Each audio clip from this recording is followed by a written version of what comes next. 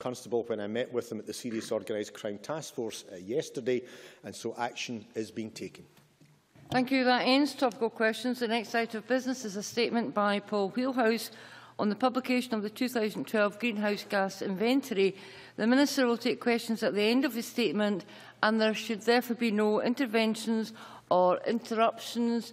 And I'll give Mr Wheelhouse a few seconds to gather his water, his papers and his thoughts.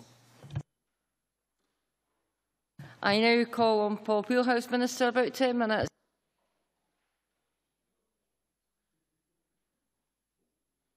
And of course the important Thank card. You. Thank you, Presiding Officer. Uh, I wish to advise members that the 2012 Green Scottish greenhouse gas emission statistics were published this morning. The data in indicate that Scotland has seen a 29.9% reduction in emissions of the basket of six key greenhouse gases between 1990 and 2012. On a comparable basis, using data published today, this contrasts the reduction of 23.9% for England, 17.7% for Wales and 15.0% for Northern Ireland. We also know emissions among all EU 28 members on average fell by 18.5% and for the EU 15 they fell by just 13.9% over the same period. However, progress towards Scotland's greenhouse gas emission targets is formally measured against the level of the net Scottish emissions account. For clarity, this account incorporates Scotland's source emissions, international aviation and international shipping emissions, relevant emission removals through carbon sinks such as forestry, and use of emissions allowances by Scottish industries participating in the EU Emissions Trading System, or ETS. Our annual targets were set using the 2008 inventory. Parliament envisaged at the time a 24.2% reduction in net emissions should be achieved by 2012 after adjustment for emissions trading. In fact, Scotland's net greenhouse gas emissions had in 2012 fallen by 26.4% since 1990. In other words, our emissions trajectory is showing a steeper percentage decline than Parliament expected, or, or we uh, uh, met the, the percentage target by 2.2% in that year. However, the challenge to Scotland's performance is in terms of measurement against fixed statutory annual targets measured in tonnes. In 2012, unadjusted Scottish greenhouse gas emissions were estimated to be 52.9 megatons of carbon dioxide equivalent. This is marginally higher than the 2011 figure of 52.5 megatons, but as I stated earlier, 29.9% lower than in 1990. As the Scottish climate change target for 2012 was designed to deliver a specific percentage reduction en route to a 42% decrease by 2020, but was set as a fixed value in tonnes at 53.226 megatonnes, so Scottish emissions in that year exceeded the level required by the annual target set under the Act by just over 2.4 megatonnes. This must be considered in a context of significant changes in how historical data are calculated, as well as new data which combine to add around 5.4 megatons, or a 7.7% increase to the baseline against which targets, all targets were set. This is more than double the amount by which the 2012 target was exceeded. Frustratingly, we are only informed of the changes now and could not be aware of them back in 2012. Details of how the data have been updated and improved are set out in the statistical release. Our targets are challenging, deliberately so, and year-to-year -year fluctuations in factors beyond our control are inevitable. However, it's worth noting that if the same percentage reduction, that is 24.2%, that had been envisaged when the 2012 target was set, was applied to the updated baseline using the 1990 to 2012 inventory, and the annual target was recalibrated accordingly, the benchmark of success would have been 57.3 megatons in 2012. On that basis, we would now be celebrating Scotland's emissions being 1.6 megatons below a revised 57.3 megaton target. In its annual progress report on Scotland's performance in March, Our independent climate change advisers, the Committee on Climate Change, acknowledge good progress has been made in Scotland on reducing our greenhouse gas emissions, particularly in the energy sector and energy efficiency. In particular, a record on leading the UK on renewables, with 46.5% of Scotland's gross electricity consumption generated from renewables in 2013, is one we can be proud of. Crucially, they noted, despite having missed the first two statutory targets, underlying progress appears on track in most sectors. I believe Scotland's Parliament and Scotland's people should take heart from this. The trajectory is key. Having analysed the latest data, Parliament can be assured we are more than halfway towards our interim target of a 42% emission reduction by 2020. In addition to significant baseline adjustments, an increase in the net Scottish emissions account resulting from the operation of the EU ETS added 2.8 megatons to the 2012 account. This too is more than the amount by which the target was exceeded. And in 2012, again, arising from poor weather, residential emissions increased and energy sector emissions were also affected. This is a regular vulnerability we are determined to design out through tackling energy efficiency and decarbonisation of electricity and heat generation. There are hard yards ahead, but the second report on proposals and policies, or RPP2, sets the strategic direction to meeting our interim 42% target for 2020 and annual targets to 2027. However, Section 36 of the Act requires that if Scottish ministers lay a report stating an annual target has not been met. They must, as soon as reasonably practicable, lay a report setting out proposals and policies to compensate in future years for excess emissions. I plan to address this by providing an annual report on the 2012 target by the end of October. The current RPP remains relevant and shows it is possible to meet every annual target. Some policies and proposals will be easier to implement than others. Technology is changing all the time. If individual measures don't work out, we would need to examine alternatives. Presiding officer, we are also focused on negotiations leading up to the UNFCCC conference of parties in Paris in 2015. As Yeb Saño of the Philippines has asked, we need to demonstrate Scottish Government's commitment to delivery of our stretching targets as our contribution to the necessary global action and to encourage others to higher ambition. We've engaged in discussions with Stop Climate Chaos for several weeks on next steps, and I'm grateful to uh, opposition parties seem keen to find consensus on new measures that arose from discussions with stakeholders. This positivity offers a hope of maintaining our common purpose as a nation in the face of perhaps the greatest global challenge. Therefore, I'm pleased to announce the establishment of a Cabinet subcommittee on climate change to ensure coordination of our strategic response at the highest level within government. This will complement the new Public Sector Climate Leaders Forum and Scottish Government's Climate Change Delivery Board. To assist this process, I'm making available a monitoring framework for delivery of RPP2 policies and proposals on the Scottish Government website, and I thank the Climate Change Delivery Board for their work on this. Be assured, this Government's ambition is resolute. I'm confident our world-leading targets are driving the changes required for a smooth transition to a low-carbon Scotland. Scottish ministers remain fully committed to delivering Scotland's ambitious greenhouse gas emission targets and the economic advantages of an early transition are clear. I regularly meet with my ministerial colleagues and I would like to take this opportunity to acknowledge their significant contributions to the implementation of the delivery framework set out in the RPP2.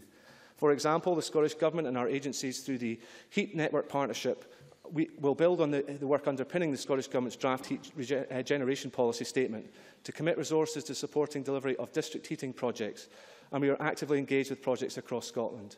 Energy Minister Fergus Ewing has committed to set up a working group under the Expert Commission on District Heating to consider the existing regulatory context and develop proposals for a regulatory framework, including investigating how best to ensure public sector buildings connect to district heating networks where available and when it is cost effective. In March, new energy efficiency standards for social housing were launched and last week my colleague Margaret Burgess announced the final Home Energy Efficiency Programmes for Scotland, or HEEPS, uh, allocations, for 2014-15 of £60 million.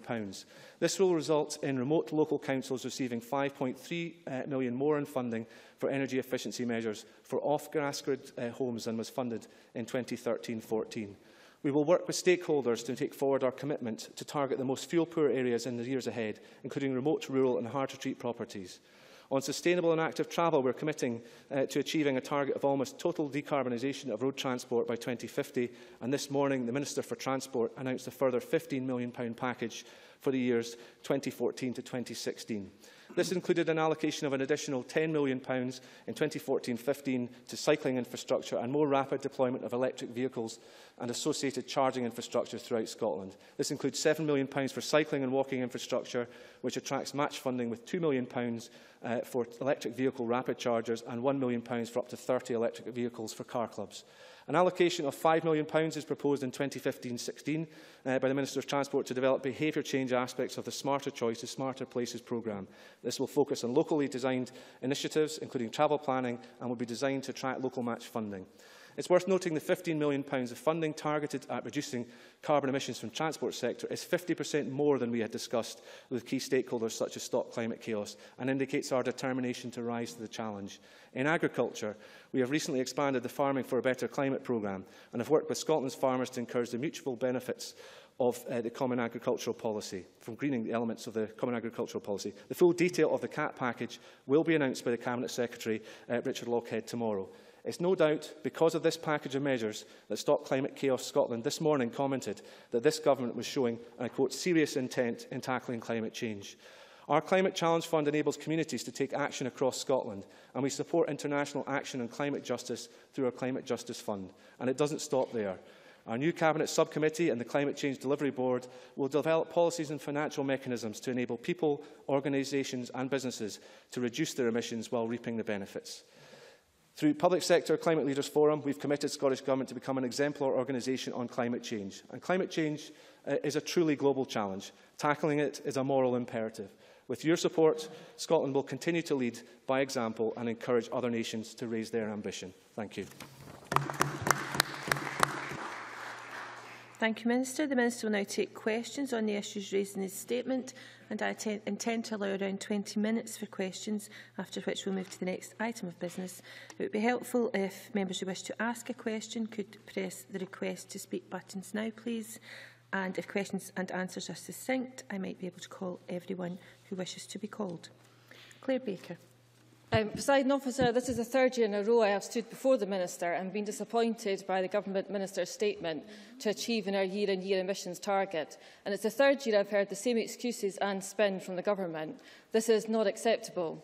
The Minister highlights the general trend, but since the Climate Change Act was passed and the statutory targets were introduced, progress has stalled and this year we actually see a rise in emissions from last year. The Government defend the lack of progress by focusing on the shifting baseline, but this type of adjustment was not unexpected. And if I go back to Stewart Stevenson's comments on the 2010 figures, the then Minister said, this early experience highlights the need to not just plan to meet the targets, but to build in some contingency as well. And if that had actually been done, we might not be in this position today. There is a need for action, and that's why I wrote to the Minister, along with opposition colleagues, supporting Stop Climate Chaos policy asks. But we made clear that these would only be a start. I am pleased that the Minister has responded to them today, but we are not going to achieve the kind of step change that is needed. Today's announcement only makes subsequent years much more difficult to achieve and he share my concern over our ability to meet the 2013 target, which demands a significant drop in emissions, given that it will be based on the past and current activity, and that new announcements made today will have no impact on our ability to deliver on that target. And we are really playing catch-up. And while today's small measures are welcome, can I give a commitment that the annual report in October will be substantial and will fully compensate for the excess emissions? Minister. Um, well, as I, presiding officer, as I set out earlier on, we will be producing a report by the end of October on our response to uh, the need to, to, to pick up slack in terms of emissions. But can I just uh, welcome the, the, the welcome from Claire Baker and part of her, answer, her question in regards to the measures we've taken, but I would hope she would recognise the serious commitment that's been put in by this government in terms of resources today and last week from Margaret Burgess and Keith Brown, and the fact that we have set up a Cabinet subcommittee which shows a serious intent to get, keep this, this government and this Parliament's ambitions on climate change in track. I would highlight to Claire Baker, who talks about the ambition of this government and our, our uh, uh, seemingly uh, inability to meet targets in her terms. Uh, just to point out, and I'm, I'm having checked with John Swinney, in the seven years since uh, 2007, the Labour Party has never asked in the budget process for low carbon ambition to be one of its priorities. So I think that's something you ought to address to your colleagues. It has not featured in those discussions. So let's have a little bit more honesty and openness about this. I hope we can... Order, please. I, I hope we can have... Order. A, well, Order. You, Order. Claire Baker's talking about excuses, but let's, let's get it straight. Each year, each year I, I, you, as you say, uh, Claire, Claire Baker says, sorry, presiding officer, I'm, I'm here, or my predecessors have been here, and she has criticised the Scottish Government's performance in climate change. In each year, the Labour Party has failed to ask for any further requests in the budget process. But we have, in, in this process, identified Order, additional measures. Order. Minister. trying to, trying to listen to the dialogue on yourself, presiding well, officer. If I could stop you for a moment, Minister. Um, contributions from sedentary positions are not acceptable. This is a statement in question, so I'd be grateful if you just continue answering the Thank, question. thank you. Um, I can assure Claire Baker, though, that we are serious about getting our targets uh, hit, if we can, between now and 2020. But the underlying trend, as I said in my statement, is something that should give us confidence. Both committing climate change and indeed our own analysis suggest we are on track to achieve 42% reduction. It is difficult because there have been sizable adjustments to the baseline. 5.4 megatons is a 7.7% adjustment to the baseline. That is not an easy thing to overcome when you find out about it retrospectively. But we are working very hard to ensure we deliver on our targets. Many thanks. Jamie McGrigor. Um, thank you very much. It's not third time lucky, is it? Um, given that the emissions from homes appear to have risen substantially in 2012, does the Minister believe enough is being done to support consumers insulate their homes to prevent heat being wasted, particularly elderly residents and those living in remote and rural communities? How will he increase awareness of the schemes which he outlined that are available, particularly with those hard-to-reach groups like elderly people living alone who are not online?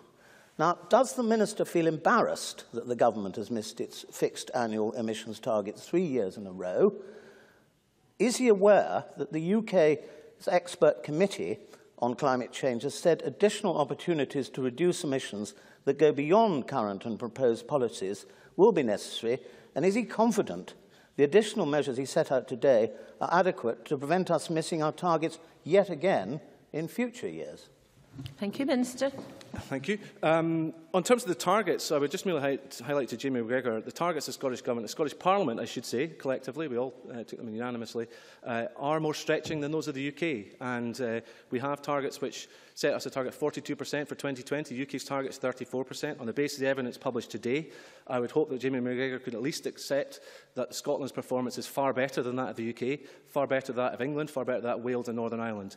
So we are making good progress. On the issue he fairly raises about energy efficiency, energy efficiency is extremely important and I, I do accept the point that Jamie McGrigor makes about the need to help those who are vulnerable and in harder to treat properties. We are, as my, I, I mentioned in my statement, Margaret Burgess has announced £60 million under HEEPS last week. 5.3 million of that is being specifically targeted through discussion with, with stakeholders to stop climate chaos at those hard-to-treat properties which are off-gas grid in rural areas like the area that uh, Jamie McGrigor represents. So I hope that Jamie McGrigor will find something in that which is of, of potential benefit to his constituents, as it will be to all uh, areas that are remote and rural across Scotland, and those people who will currently find it very hard to have their properties treated will have additional support through local authorities, funded by this government through our HEEPS programme. Thank you. Rob Gibson. Thank you, Presiding Officer. In the light of the opposition party's contributions today, I'd like to ask the Minister how he intends to engage elected representatives in our Parliament and in local government to play their part in meeting the targets we all agreed to and that all the parties require to contribute ideas to in order to meet our stretching targets if we're to succeed. Minister. Well, Rob Gibson is absolutely right. This is, uh, this is an issue that's bigger than normal politics, I, I suspect, and it's something that requires a, a consensus. So I'm disappointed with some of the early remarks that were made, uh, and I hope that we can have a more positive tone throughout. But I would say to, to Rob Gibson that we we all have a role to play in reducing carbon emissions. We are engaging with uh, families uh, throughout the length and breadth of Scotland through our Greener Together campaign, engaging people with positive messages of creating a, greener, a cleaner, greener Scotland linked to actions we all take. We know that about half of what we have to achieve is through behavioural change, so that is why that is so significant. We are engaging communities through the Climate Challenge Fund and the Junior Climate Challenge Fund with support of £11.8 million this year, enabling communities to deliver the climate change ambitions that meet their needs uh, of their communities. And we're engaging local government and the wider public sector through the Public Sector Climate Leaders Forum and Resource Efficient Scotland, which are targeted to the public sector and uh, business sector respectively. And this morning, as I said earlier, uh, my colleague Keith Brown announced £5 million towards smarter choices, smarter places, which is a significant investment to, to tackle behavioural change in transport uh, area and to reduce emissions. So I think we are taking the decisive steps that we need to take I hope that we can get a consensus across this Parliament. This is a, a serious issue that requires mature debate and discussion and an understanding of the figures and take appropriate action. Claudia Beamish. Thank you, Presiding Officer. Um, climate change is, of course, a worldwide issue, as the Minister has highlighted. It's also deeply relevant here in Scotland. This has been stressed by the Joseph Rowntree Foundation and others. In view of this, what is the Minister specifically doing to support economically challenged communities and households here in Scotland to tackle emissions and also to tackle fuel poverty and get a better quality of life for them at the same time. Thank you. Minister. Well, I, I certainly welcome the, the, the tone of, of Claudia Beamish's contribution here. We do have uh, a serious challenge. There are, I know there are genuine issues that Claudia Beamish has expressed an interest in before about equalities in relation to climate change policy, so I acknowledge that here today. Uh, we have taken action both on adaptation and mitigation to try and support communities that are at dis disadvantage, maybe perhaps in terms of their internal capacity to apply for funding through providing uh, development grants to the Climate Challenge Fund. So those communities in the bottom, 15% uh, of uh, social social uh, index, uh, of multiple deprivation, Scottish index and multiple deprivation, are given specific support to provide them with the capacity to put in an application and to draw down funding through Climate Challenge Fund. That is beginning to bear fruit. We are beginning to see a broader range of communities coming forward and communities in areas that would otherwise be described as, as having uh, you know, uh, high levels of deprivation, deprivation. And more generally, we're trying to tackle the adaptation issues, as uh, I'm sure Claudia Beamish is aware, in terms of the study we commissioned through Dundee University to look at the impact of flooding uh, on uh, lower income groups. So we are taking a view that there's a climate justice agenda at home as well as abroad and that we're trying to tackle the needs of our more deprived communities. I'm happy to engage with Claudia Beamish on those issues as we go forward. Thank you, Graham Day. Thank you. Uh, whatever else these figures tell us, they surely reinforce the need to get the private sector and all public bodies properly engaged in the drive to create a truly environmentally responsible Scotland. Can the Minister outline how we can actually do that? And I don't mean getting chief executives committing to doing the right thing, but actually ensuring that from the top to the bottom of these organisations, we embed the kind of behaviours which will ensure Scotland hits future targets. Minister. Well, Graham Day raises a very important point. We have uh, a need to, to make sure that there's a cultural change in business, uh, local government, uh, in public sector more generally, and indeed in Scottish Government. We're trying to show what we can do as a Scottish Government and lead by example. Uh, I am confident that local government is taking this issue very seriously and I've had positive discussions with Stephen Hagan uh, and my counterpart in COSLA on this issue.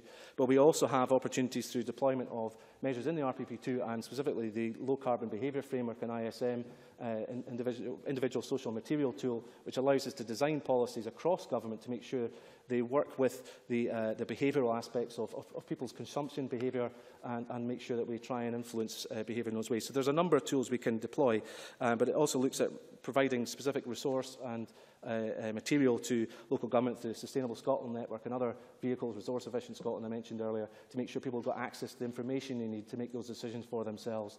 And I think, uh, as I mentioned earlier, climate challenge is another way of helping individuals. And those are individuals that work in the workplace and then carry that message forward into the working environment as well. So there's a number of different approaches we need to take uh, to behavioural aspects of climate change.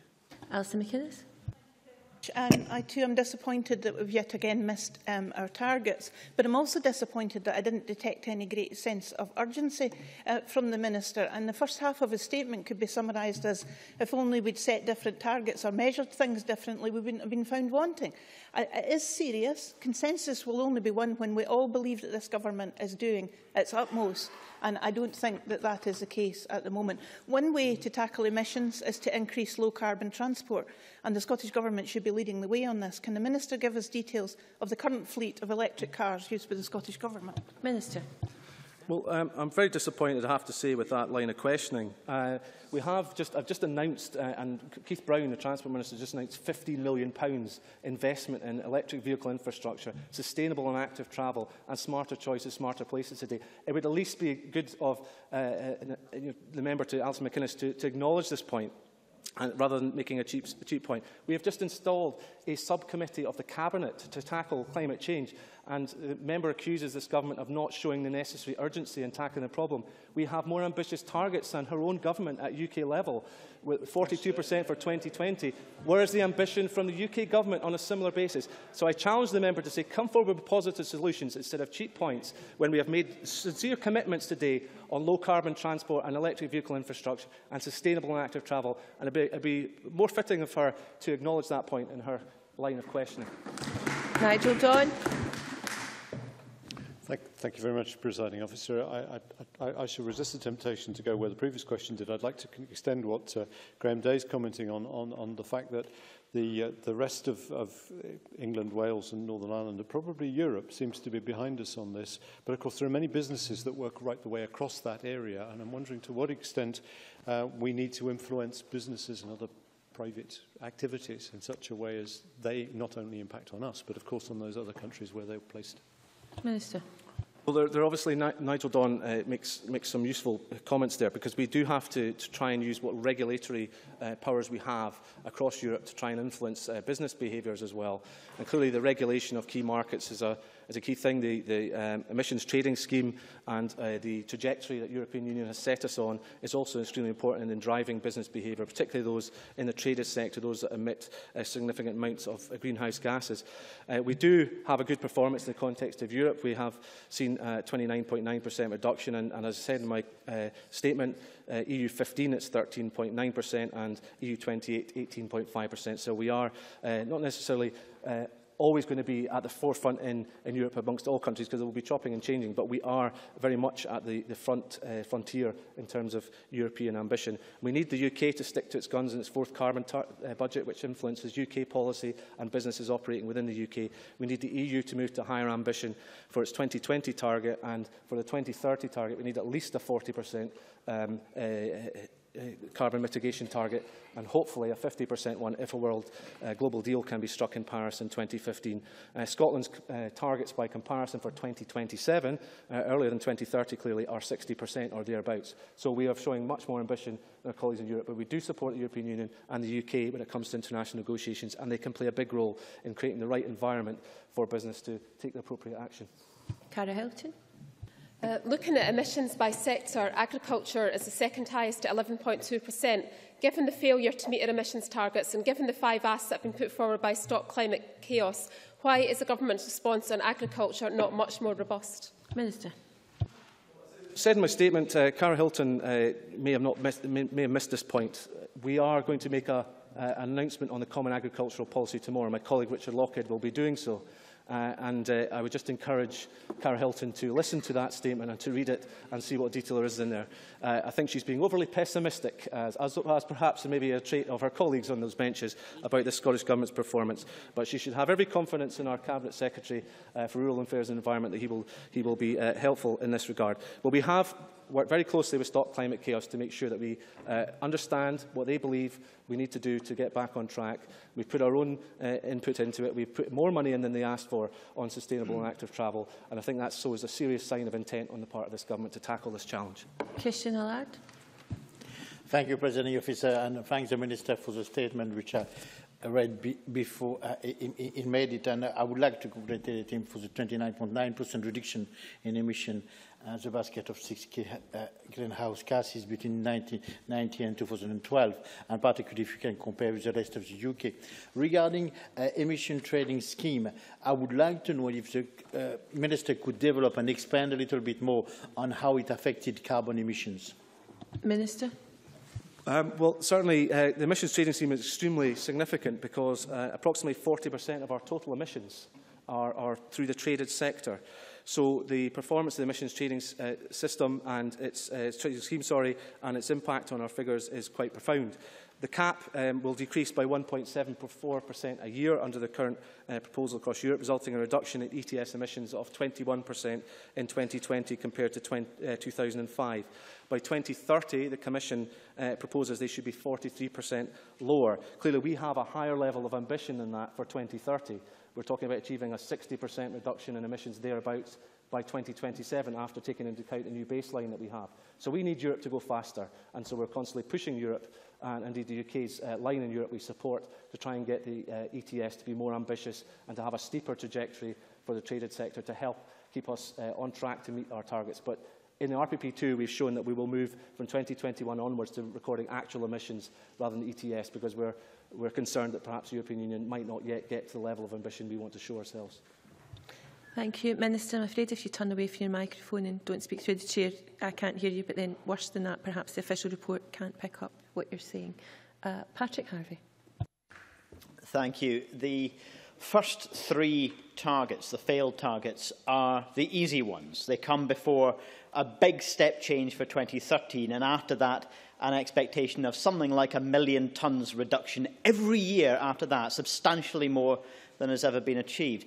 Given that most of the initiatives, which are welcome from the government that have been announced today, have come from the NGOs with the support of the opposition parties, are we really to expect that big step change in our emissions trajectory without a big step change in policies? Minister. Well, we, we clearly have put in place, uh, and I, I welcome Patrick Harvie's uh, positive comments about the initiatives that have been taken today. as a contrast to others in the Chamber. But we have uh, certainly put in place this Cabinet Subcommittee as a, as a reflection of the fact we realise we have a serious challenge ahead of us.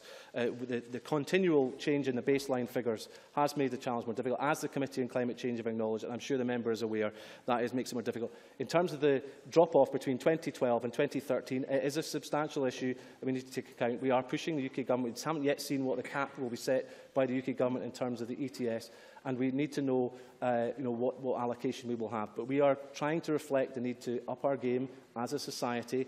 I would hope all members will engage in that positively, as I'm sure Mr Harvie will, uh, to take part in that, and we can try and achieve this. But we are confident the underlying trajectory for 2020 is still on track. As I've acknowledged all along, we may have challenges from year to year, but we are taking the decisive action today to try and step up our, our efforts and make sure we accelerate investment in low-carbon technologies. I welcome Mr Harvey's warm welcome of that. Willie Coffey.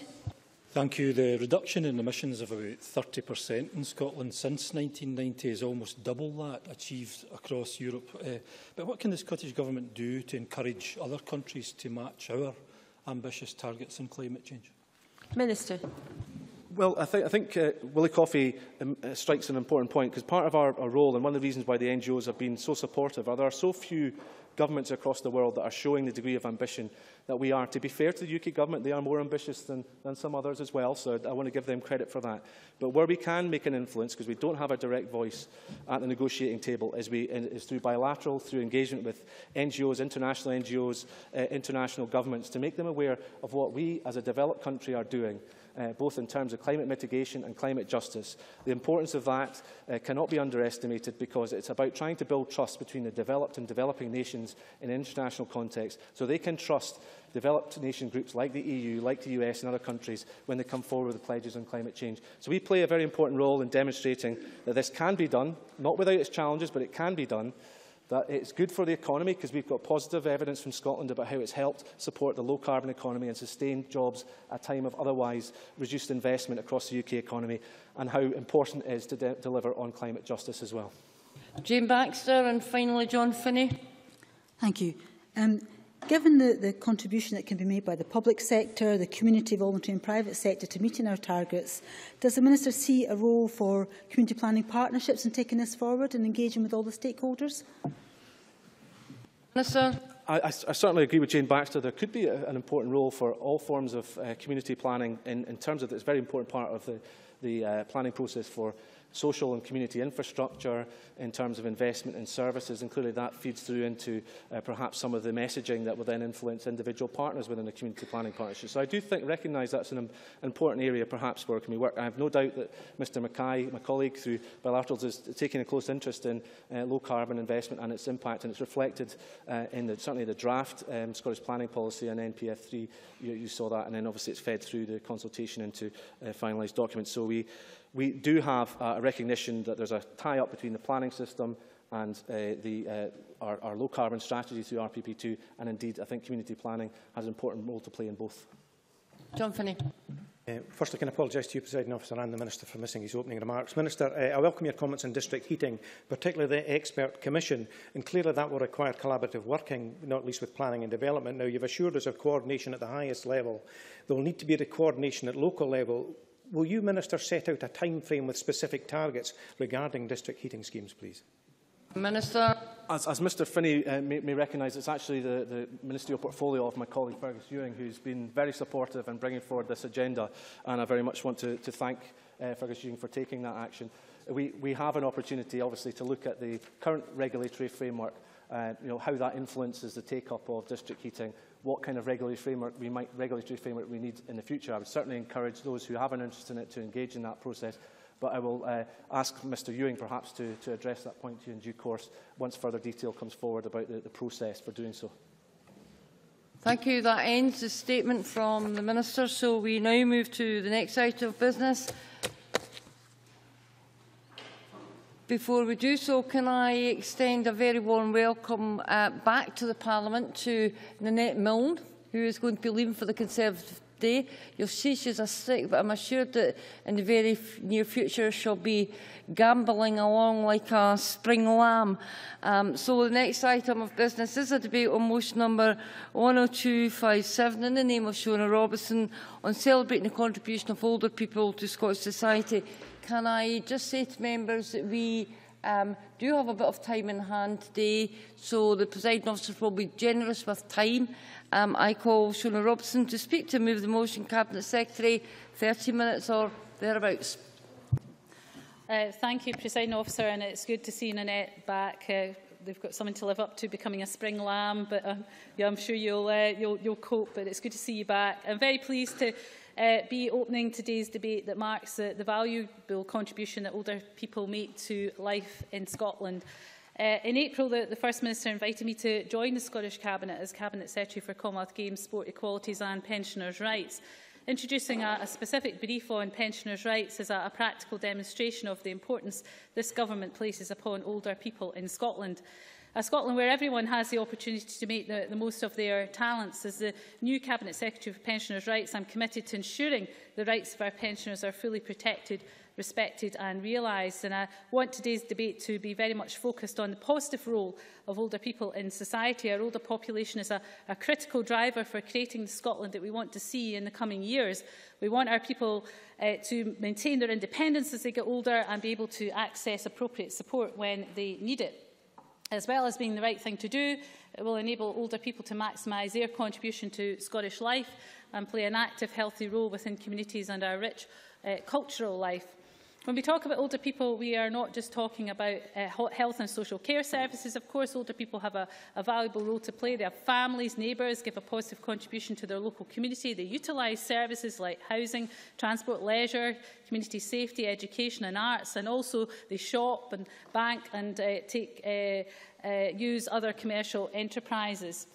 It's vital that we recognise this valuable contribution that older people make to the economy and to society more widely. We have more older workers than ever before, a rising state pension age and too many people dropping out of the workforce well before they are entitled to a pension. Early exit from the labour market can have serious implications for the health, well-being and incomes of individuals and comes at a significant cost to the economy, business and society as a whole. We want employers to embrace the challenge of retaining older workers and services such as the Scottish Centre for Healthy Working Lives can help employers get information and advice on the steps that they can take to support older people in the workforce. We should also, of course, acknowledge the vital and important role that grandparents have to play in the upbringing of children and young people. I certainly wouldn't have managed without mine. Um, the contribution of wider family and of grandparents in particular in the day-to-day -day care of children and in providing practical, emotional and often financial support to their own children is hugely significant. And of course, I cannot forget that this week being Carers Week, that many older people are caring for those closest to them. I pay tribute to them and reiterate this government's strong commitment to ensuring that all carers are supported. We're providing unprecedented levels of support, and this includes at least £46 million between 2012 and 2015 of the Reshaping Care for Older People Change Fund.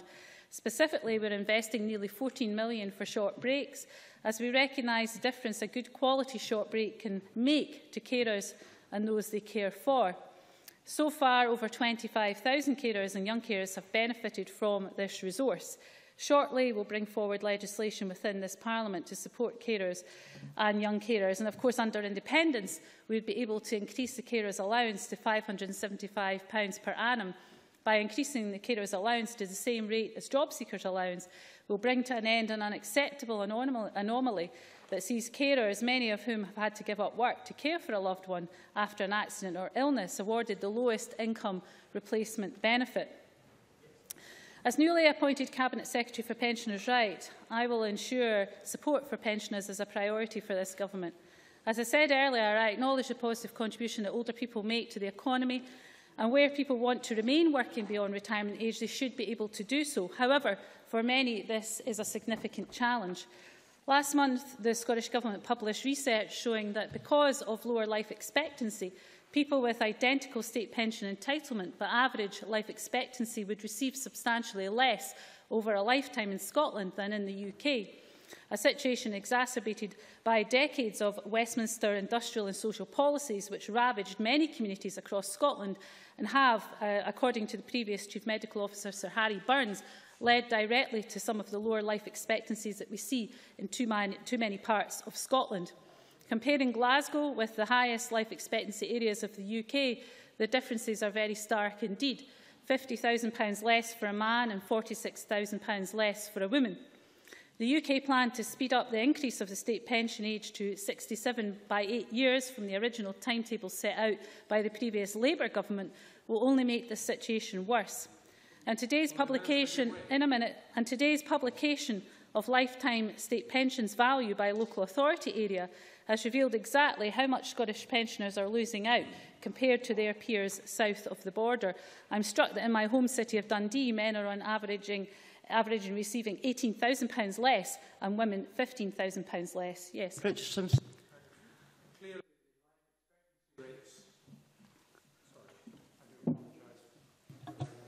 We have a card malfunction.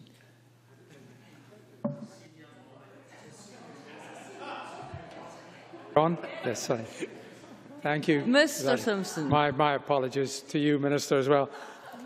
Uh, clearly, the life expectancy in Scotland being lower than that in, in the UK as a whole is a matter of considerable concern.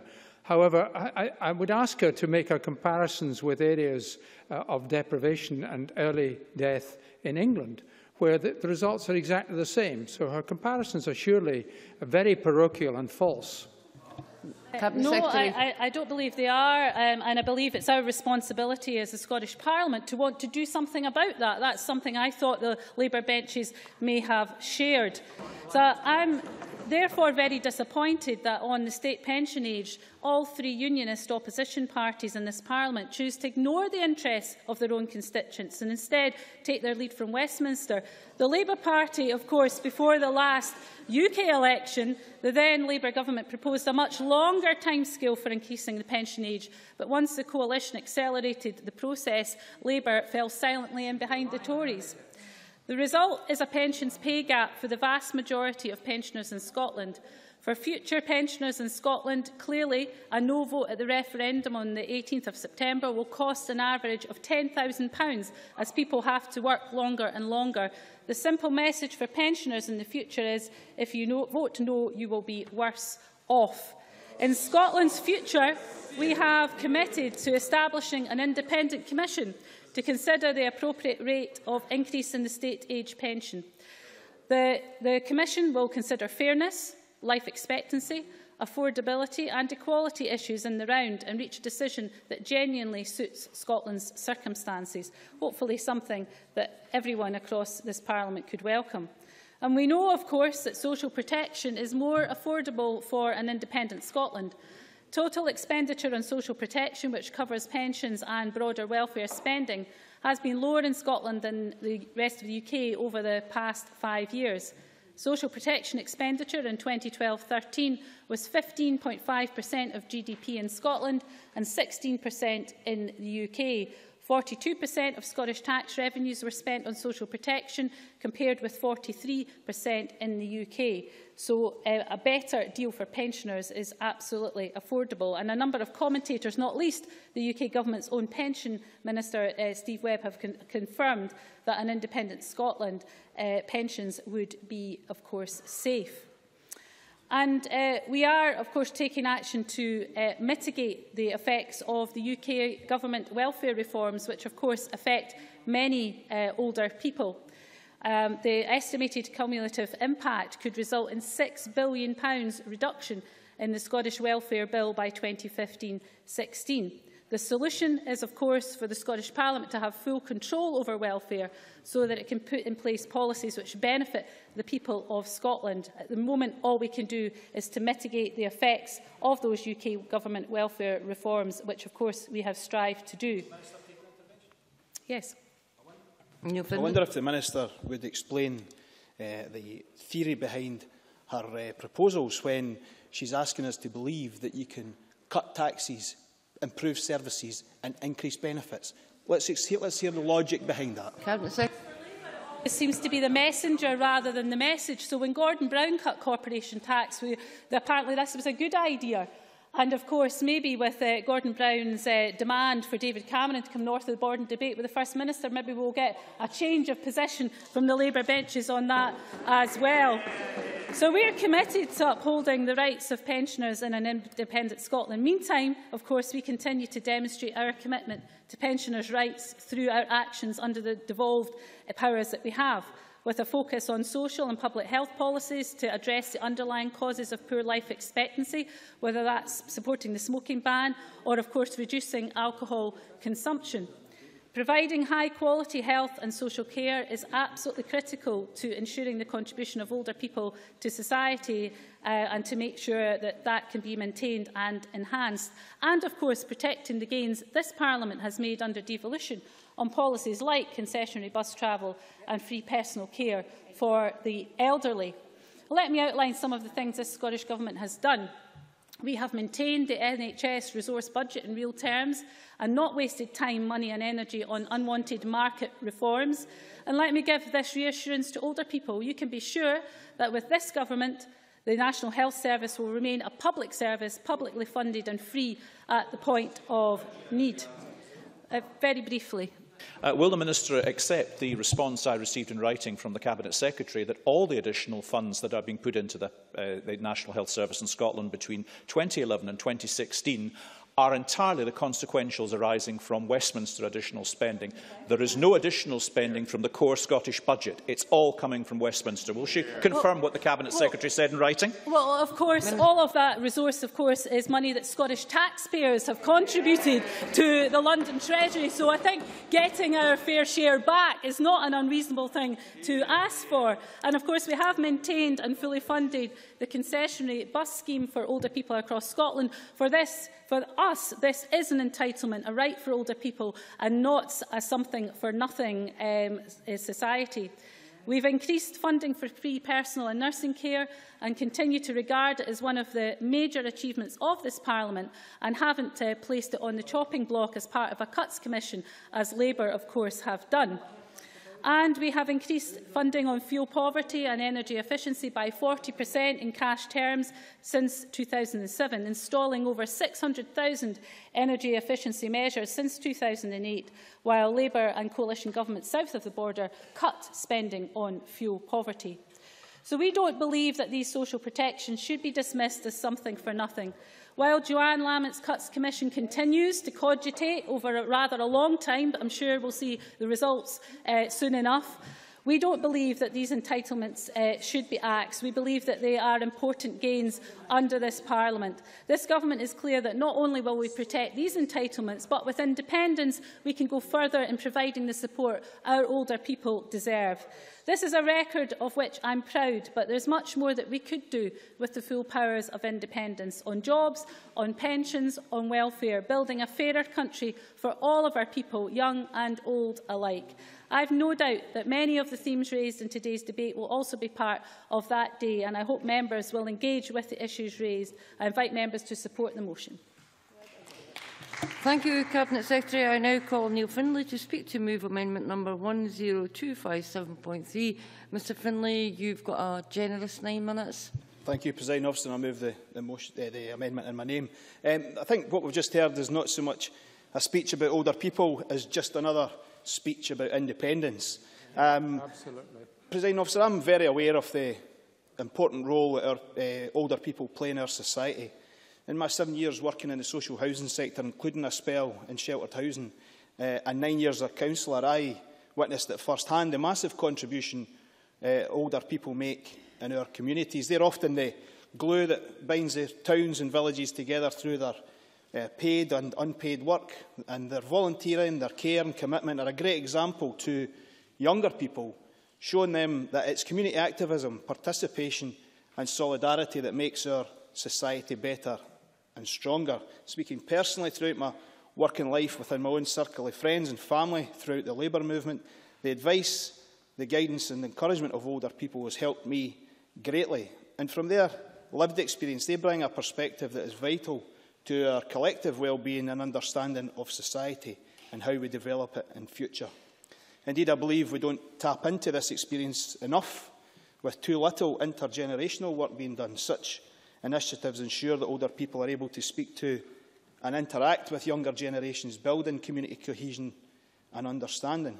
Of course, older people also contribute economically. Many are working longer in years, enjoying new opportunities and filling the skills shortages we have. And rather than being a financial burden, as they are often portrayed, they're a financial asset as well as an outstanding social asset.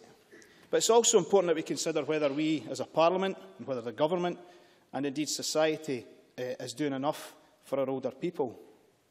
And indeed, it's imperative that we consider where we are, uh, whether we are planning well enough for future challenges, not least the demographic challenge posed by the predicted increase in older people, and whether we are making our older people aware, fully aware of the consequences that could lie ahead should Scotland separate from the United Kingdom. Presiding officer, often today grandparents, aunties, uncles or other relatives are for various reasons being left to raise their uh, grandchildren or relatives uh, in place of parents. These are often people in the twilight of their lives and they are the heroes, uh, among the heroes of our society. They need our support. Yet Scottish Labour's attempts to end the postcode lottery of financial support for kinship carers was rejected by the Scottish Government during the consideration of the Children and Young People's Bill. How much value did the Scottish Government place on those older people currently providing care and a home for their vulnerable grandkids or younger relatives? If we look at health inequality, what substantive action has the Government taken to tackle Scotland's shame that sees so many of our older people not reaching retirement or are in such poor health that they are unable to enjoy their remaining years? We know that £1 billion has been cut from anti-poverty initiatives. These were aimed at our most deprived communities, where males have 23 fewer years in good health compared to 12 years in the least deprived areas. And for females, the figures are 26 and 12 years, respectively. And isn't it to the Minister's shame that her first statement when she came into post was about people entitled to more pension because they die younger and not addressing the issue of why they die younger. That's what we should be addressing. Cabinet Secretary. I, I just wonder if the member would agree with uh, Sir Harry Burns, the previous Chief Medical Officer, when he said the reason that life expectancy is low in many of those communities is because of the decades of deindustrialisation under the hands of the Westminster governments. Surely he would want those powers to be in the hands of this Parliament rather than see more of the same from Westminster. Neil Findlay. I agree with a great deal of what Harry Burns says. Unfortunately, I agree with very little for what the Minister says. President officer, Scotland faces a serious demographic challenge, with the number of over 75 set to double in the next 25 years. As people live longer, we will see demands on our services, particularly in health and social care, rise. One Already moment, we've Mr. seen Findlay. an impact. Mr McIntosh, you will have your turn in due course, so shushed.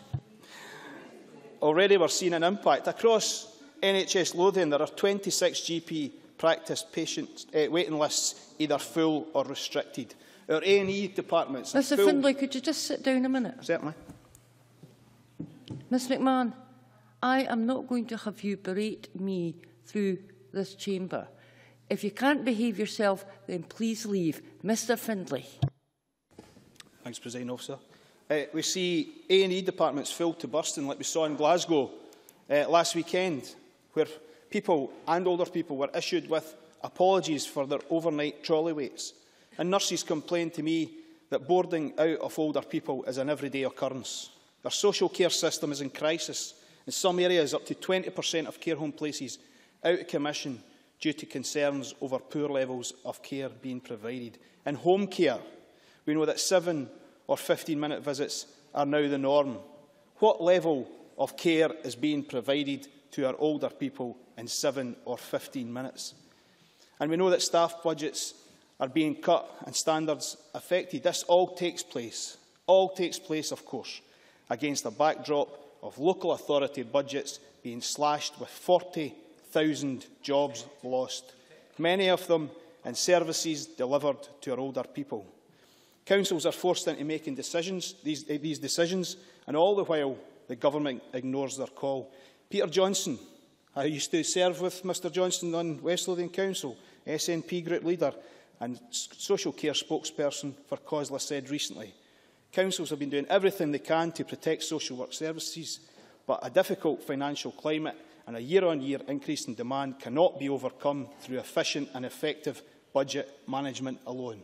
For once, for once in my life, I agree with Councillor Johnston. Oh, well, I'm sure he's delighted at that, Mr, Mr Stevenson. Stevenson, please don't make remarks for a sedentary position. Neil Findlay.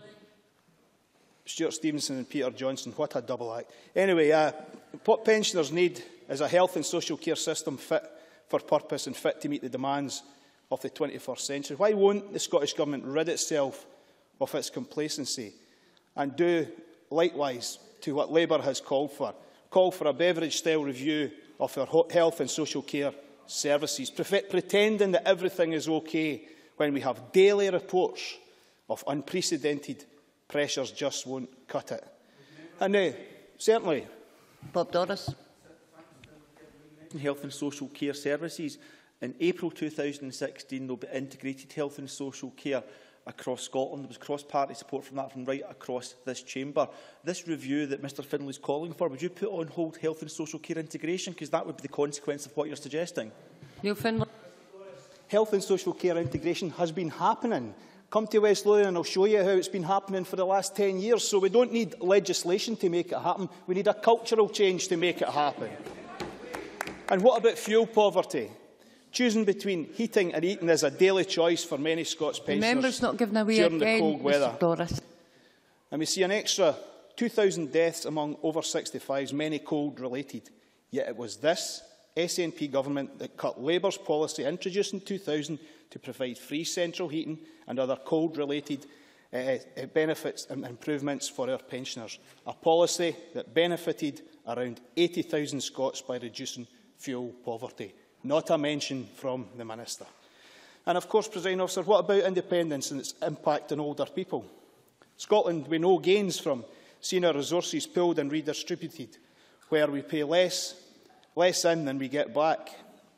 And we see the risk spread across 50 million rather than five. Of course, the Finance Secretary, Mr Swinney, has already admitted there would be a pensions black hole under independence. And he's right. Of course we know he's right.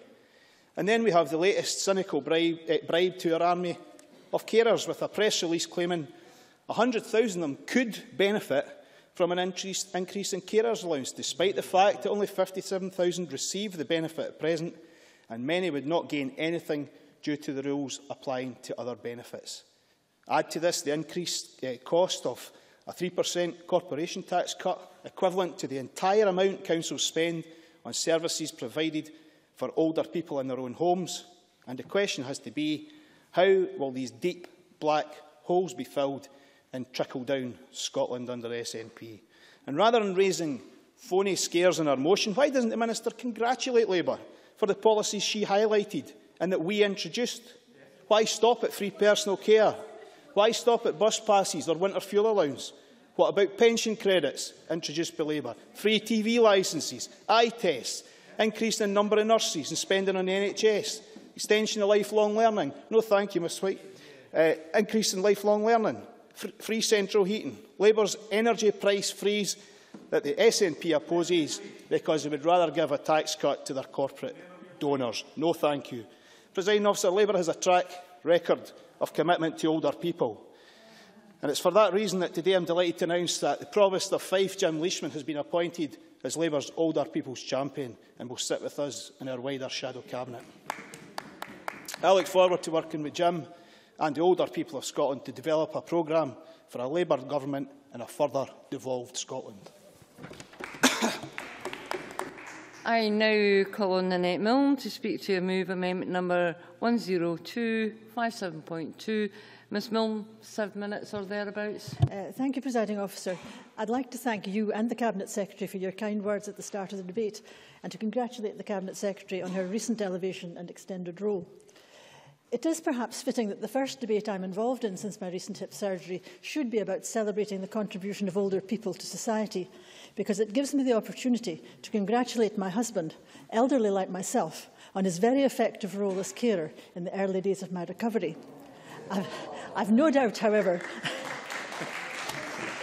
I've no doubt, however, that he's relieved that the role was a temporary one, because not all cared for people are easy to please, and I'll leave you to guess which, uh, where I stand on that one.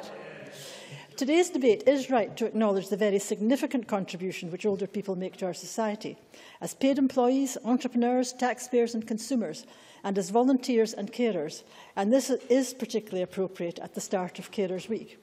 So I was a little disappointed, although I suppose not really surprised, as the referendum debate drags on, to read the sting in the tail of the government's motion, questioning the need identified by the UK government to increase the pensionable age in future years.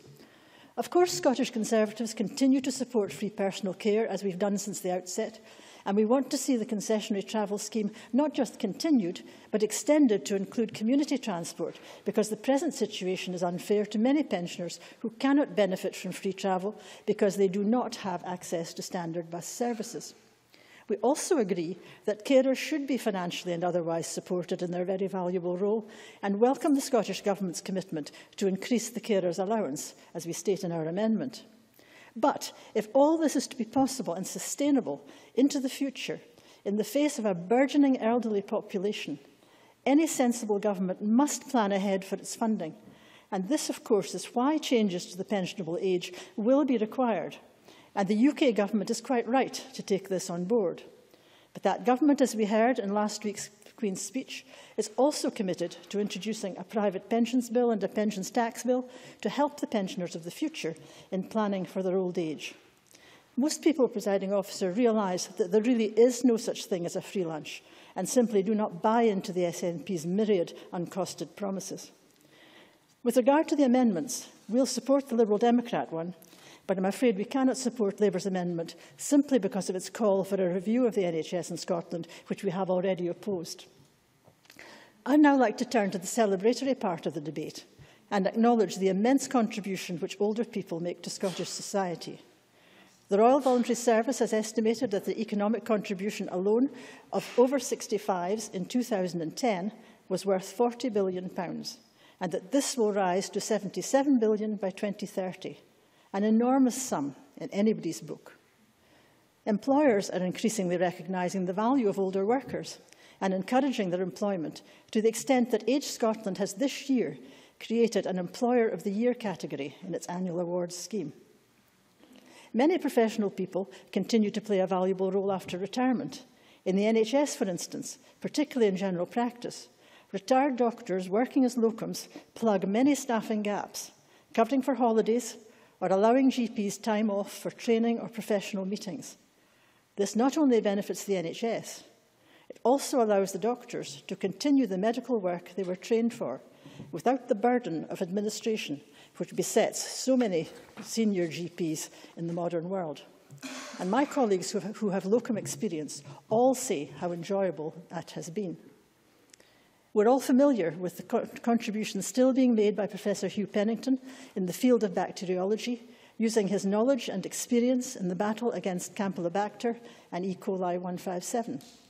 And just the other evening, I learned that Professor John Mallard, the inventor of the MRI scanner, went on after retirement to develop the positron emission tomography, uh, the PET scanner, so widely used today. I was, incidentally, also delighted to learn that John's prototype MRI scanner is to be preserved and displayed permanently within Aberdeen Royal Infirmary, a fitting tribute to a man whose immense contribution to society worldwide has never actually had the public recognition which it deserves.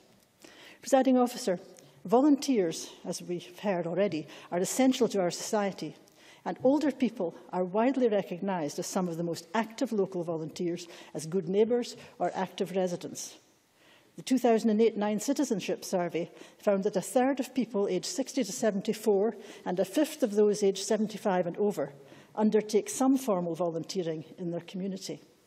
This led me to think about my contemporaries in my own local area in Aberdeen. My next door neighbour joined the children's panel when he retired from the oil industry. A close friend continues her long involvement with Citizens Advice Scotland. Other neighbours run our local neighbourhood watch schemes or play an active role as community councillors. Others produce and deliver our regular community newsletter, and a group of older people run our annual community festival. Cancer patients rely on the support of volunteers working as Friends of Roxburghe House or with Clan, a well-known and very active local cancer charity. And many of my age group do regular fundraising for these and other charities, such as Marie Curie, the Anchor Unit or the Maggie's Centre, not to mention guide dogs, lifeboats, the Serenians and many other organisations. Hospital patients and housebound people have come to rely on the RVS for the provision of refreshments in wards and clinics, and the social contact provided by volunteers, many of them retired, who deliver meals on wheels to people um, who rarely have visitors from the outside world. Presiding officer, I've given just a few examples of the extent of volunteering in my own area. Just think of the contribution of volunteers to Scottish society as a whole when such activities are multiplied across all our local communities. Add to this the enormous contribution grandparents make to childcare in Scotland today, and the number of older people willingly and lovingly caring for their partners, friends or neighbours. And we realise just how much we rely on older people to support the fabric of our communities and how much resource they save the public purse. So we should not regard the elderly as a burden, but rather we should celebrate their role in contributing to, to, contributing to a cohesive and caring Scottish society. I move the amendment in my name. Uh, thank you, Ms Milne. It is good to have you back. Um, can I, before I call on Jim Hume to speak for the Liberal Democrats, can I just give an indication at this point to the backbench speakers uh, that we can give you each seven minutes, and if you take interventions, you might get a bit longer. I call Jim Hume. Mr Hume, seven minutes or thereabouts. Uh, thank you, Presiding Officer, and I too say, must state it's good to see Nanette Milne back in the Chamber. Uh, I start by, of course, moving the amendment in my name. As members have already said this afternoon, older people do enrich our communities. They contribute a wealth of knowledge and, and support to family life, and as that population grows, it's incumbent upon all of us to make sure older people are looked after as they become more reliant on healthcare and other support services. The Scottish Government is uh, correct that we should celebrate the contribution of our older people, and this year's Normandy commemorations were an emotional uh, reminder of what older people bring to society as a living link to our past. It's correct to acknowledge the positive impact of concessionary bus travel and free personal care, policies brought about under the Liberal Democrat Labour coalition. But the Scot Scottish Government motion would have us believe that all is well in the care of older people, and sadly that's not the case, as highlighted by the recent Mental Welfare Commission's depressing report into the care of dementia patients. For far too long, Lib Dems have been warning that older people are being let down by this government's confused priorities. Figures we obtained recently show that emergency admissions for older people are increasing further, whilst the number of staff hospital beds has plummeted. In an answer to a parliamentary question, the Health Secretary himself confirmed that the number of geriatric beds are at their lowest level in over 10 years. The Health Secretary answer shows that emergency admissions for older people is also at its highest in over 10 years. That's a huge imbalance, imbalance between supply and demand. This government's failing to meet the national indicator to reduce emergency admissions to hospital. And these figures come just after one week after an Audit Scotland report found that at least 90% of patients, 90% of patients experienced a delay of more than three days were aged 65 and over. Sadly, older people are being let down by the government's confused priorities. The fact is that at a time when people are living longer lives and for longer in periods of ill health, the Scottish Government continue to slash the number of staff beds for older people. This is despite the number of unplanned, unplanned emergency admissions for people aged 65 increasing by around a fifth over the same period.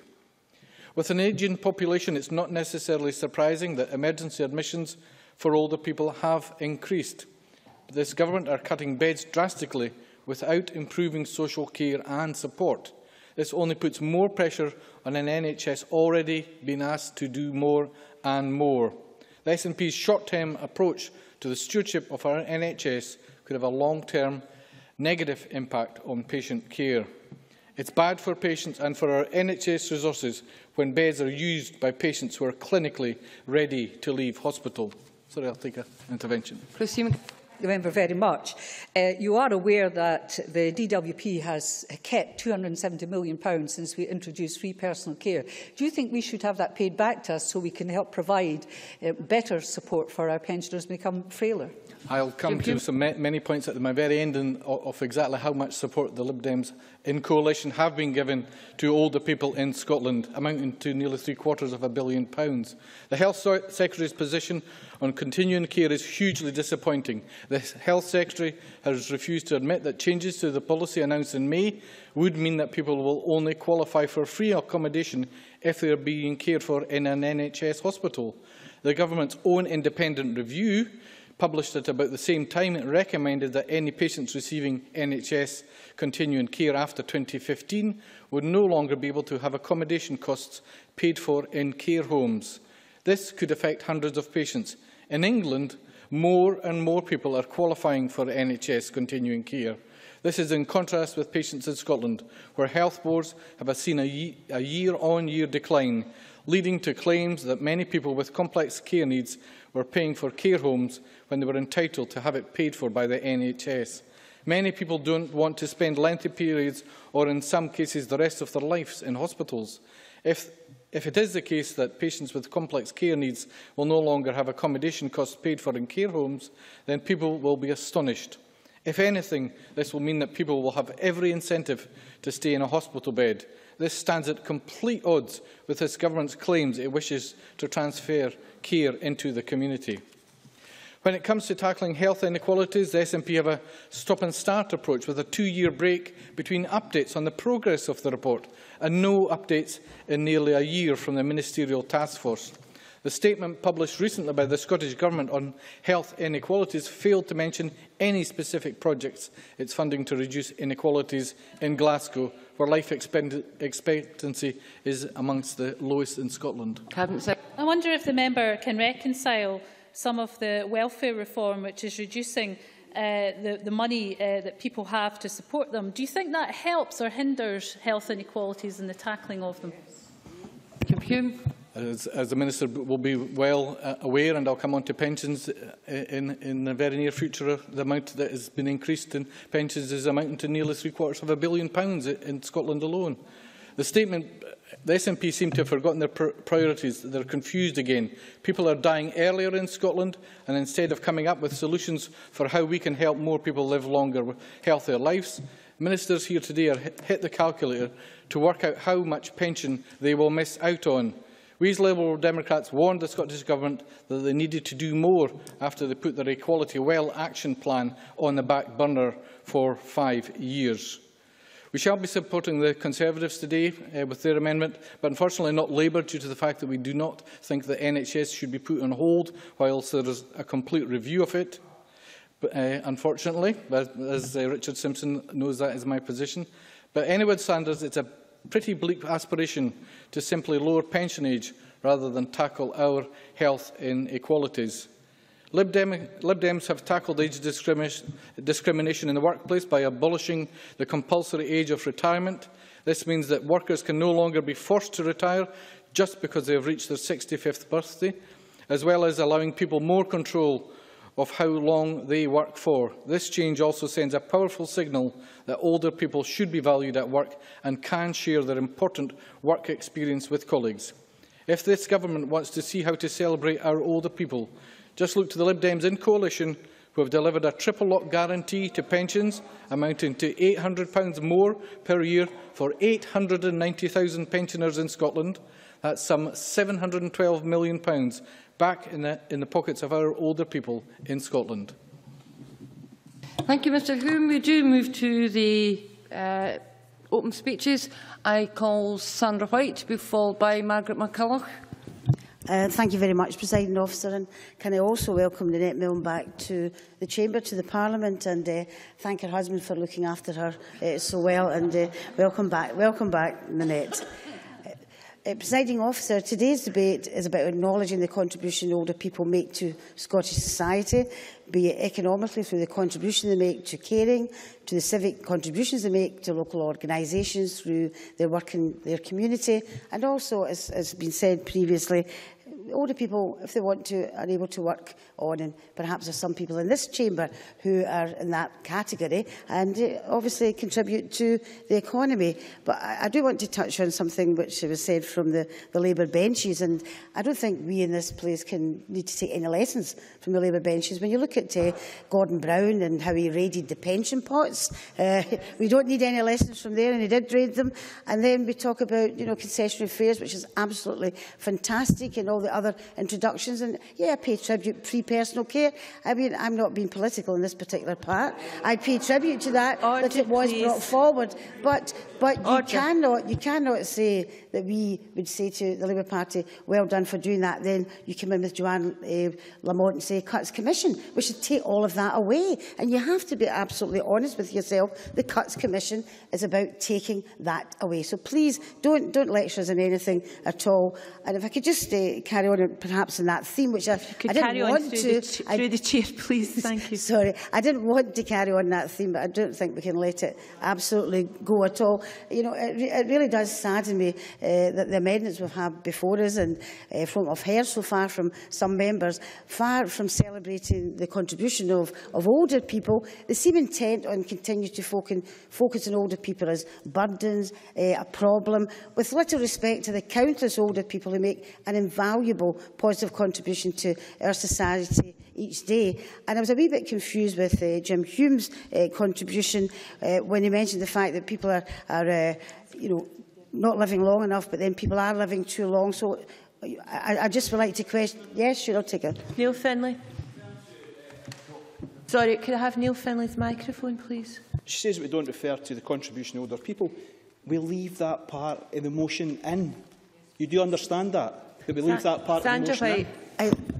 I, I, I agree it's in the motion, but it certainly wasn't what was said. I mean, basically, it certainly wasn't what was said. I, I think people are living longer is something to celebrate. I think it's something positive, is it not? That we're actually living longer. But then we've got the contradictory terms that people are uh, dying younger. And it's been decades. And I must admit, my home city of, my home city of Glasgow, Labour controlled. Nothing has been done in the decades they've been in control to try and get rid of the poverty within my fair city of Glasgow. example, I'll take an intervention. Jim Hume.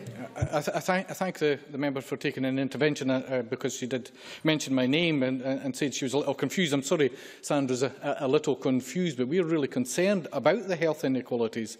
Uh, now, health has been um, devolved for 15 years but uh, would you recognise some of the good that the Coalition has done in bringing in an extra £712 million pounds to 890,000 pensioners in Scotland? Sandra White, I'll give you some uh, thank, thank you, Presiding Officer. As I said before, I'm not being political in this particular aspect, but you have never congratulated anything this Scottish Government has done to alleviate the problems that not just pensioners have, but poverty households as well. And if there's more money being spent and health is being better, of course people will live longer. And I think that's something we should be celebrating. And, I, and I, I don't mind saying that at all. And I think this is at the heart of the issue of the debate that we're having today. Uh, we need to change the way society perceives older people they're an asset rather than a burden, and we have a chance to do that today. And I really do sincerely hope that we do take that Now, presiding officer, two weeks ago I had the pleasure of hosting a reception for the Annex Connect project, which is based in my constituency in Glasgow Kelvin, one of the first projects to receive a grant from the Big Lotteries Investing in Communities Fund way back in 2011. Fantastic day, ended up with all of us outside singing, waving flags, etc. And they absolutely enjoyed it so much. Now, the projects works with vulnerable and isolated older people in the local area to help them to reconnect to their community through various activities And it's been a really good success, so much so it's been emulated by others also. And, you know, some of the comments were absolutely fantastic. Friendship and love, this is what we've found here. We don't need to sit in the house anymore. We're able to get out. One elderly lady says she goes to meditation to get Reiki treatment and she goes there every day. Why not? She should be able to do that. And I think it's, it's fantastic to see them all so full of life. And, you know, this, at this point, A lot of the debate today focused upon the economic arguments surrounding an aging population. I've said that before. But I believe it's equally important to look at the type of projects such as I've mentioned and the tangible benefits they bring to the lives of older people and learn from those examples. Uh, older people are not just assets or burdens to be bandied about. They're real people and we should be respecting them and remembering that today. And that's one of the reasons I too welcome the publication of Somewhere to Go and Something to Do, Active and Healthy Ageing, the action plan, which does identify the need to share examples of uh, projects at work and people who benefit from it. And we can learn from that. You know, however, whilst all the priority themes and actions identified in the report will clearly benefit older people, I'm a wee bit concerned as how the projects such as the Annex Connect projects, what I've spoken about, uh, will fit into the plan. And I know members here today will have, you know, visited many grassroots community-based projects which do assist older people and how we can learn from these hundred of examples, how we can actually feed in, perhaps, Minister, to that plan. And I do acknowledge that uh, it's important to take a top-down approach to address certain issues facing older people. I do think we need to make more effort to ensure that as much focus is given to the bottom-up approach. Now, as convener of the cross-party group on older people, age and ageing uh, in the Parliament, one of the oldest uh, cross-party groups, pardon the bun, uh, in the Parliament, it's something that I want to raise with the cross-party group with a view to exploring at future meetings and uh, perhaps look at the findings that we have of that uh, project and be happy, if the Minister so wishes, to report these findings back to the Minister. Now, in fact, tomorrow we have our AGM, so like someone's shamefully plugging their new book, members here are, who are interested in uh, issues affecting older people, I know there are certain members here today, uh, are more than welcome to come along as we discuss our future work programme. Presiding officer, uh, we'll all be old one day, uh, some of us sooner than others.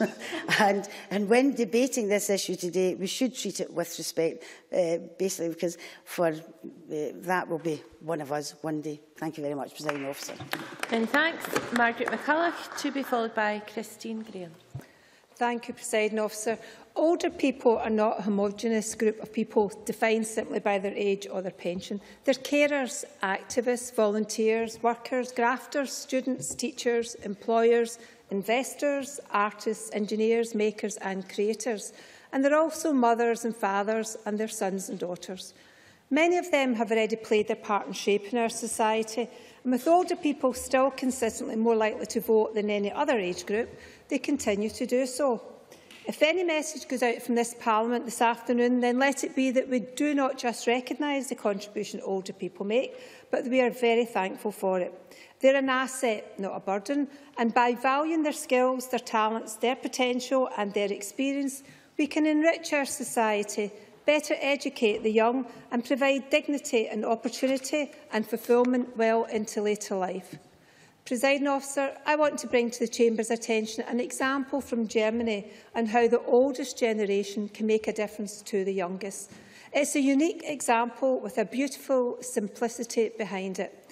It's, a, and excuse me if I don't pronounce it properly, Meher Generationel Haus.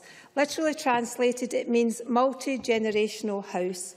Across Scotland, in our towns and cities and villages, we have community centres hosting all kinds of activities and providing all kinds of facilities.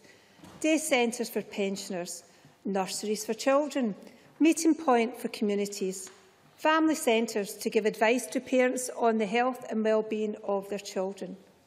But is it always right to compartmentalise the community in that way? Since 2006, Germany have been looking at how to bring just some of those different services aimed at different groups of people under one roof. One article I read tells the story of a young girl called Emily and her great-grandmother. They both make the same journey to the same place every week. But while Emily goes to the Salzgitter Child Care Centre, her great-grandmother receives treatment for dementia at a day centre across the hall in the same building. And there's an open-door policy between the two. Salzgitter was a model for the multi-generational house and it's a model which is now growing and developing all across Germany. Pensioners can volunteer to get involved in the kindergarten, looking after the children, reading books, playing and singing and bridging the gap between the generations. And in a world in which families increasingly live further and further apart, children who may not see their own grandparents often can learn from older people who act as a positive role models.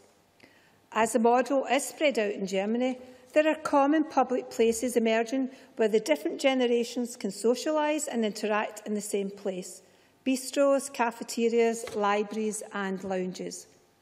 The knowledge and experience of the older generations doesn't have to be lost to the next. Likewise, the knowledge and experience of the young doesn't have to remain alien to the older people. That's a lesson from Germany, and it's a lesson we could do well to learn here in Scotland. Of course, we cannot debate the future of older people in our society without dealing with the choice we will all have to make on the 18th of September, which is alluded to in a clear and comprehensive Labour amendment. When it comes to dealing with health inequalities, life expectancy, the stability of our pension systems and the resourcing of our public services, I believe that devolution provides the best way forward. We have a strong Scottish Parliament growing stronger, taking decisions here about health and social care, while we also share risks, rewards and resources across the whole of the United Kingdom as part of a redis redistribution social union. It's the best of both worlds for Scotland's pensioners, and the best of both worlds is best for Scotland. I'm just finishing now. Presiding officer, we all age, but with innovation from government, creativity in our public services and the pooling and sharing to provide strength, security and stability for Scotland's pensioners, then I hope that more and more of us can age well and age well together. Thank you. Thank you. Could I remind members that they can have up to seven minutes for their speeches and there is a little bit of extra time for interventions. Christine Graham, to be followed by Stuart Stevenson. Uh, thank you, Deputy Presiding Officer. Can I say to Mar Margaret McCulloch to add to her list of diverse activities of pensioners MSPs even. Yeah, yeah. I'm very pleased to take part in this debate to declare an interest being an older person, Ich bin ein Pensioner, to plagiarise, of the Elvis Beatles vintage. Yes, I once wore a miniskirt, that's changed, but the hair hasn't. Now, I note the Labour amendment, although there was some early introduction about the benefits and the assets, it actually refers to demographic challenge. I don't see myself or my generation as any kind of challenge, rather an asset, no more or less a challenge or an asset than any other age group.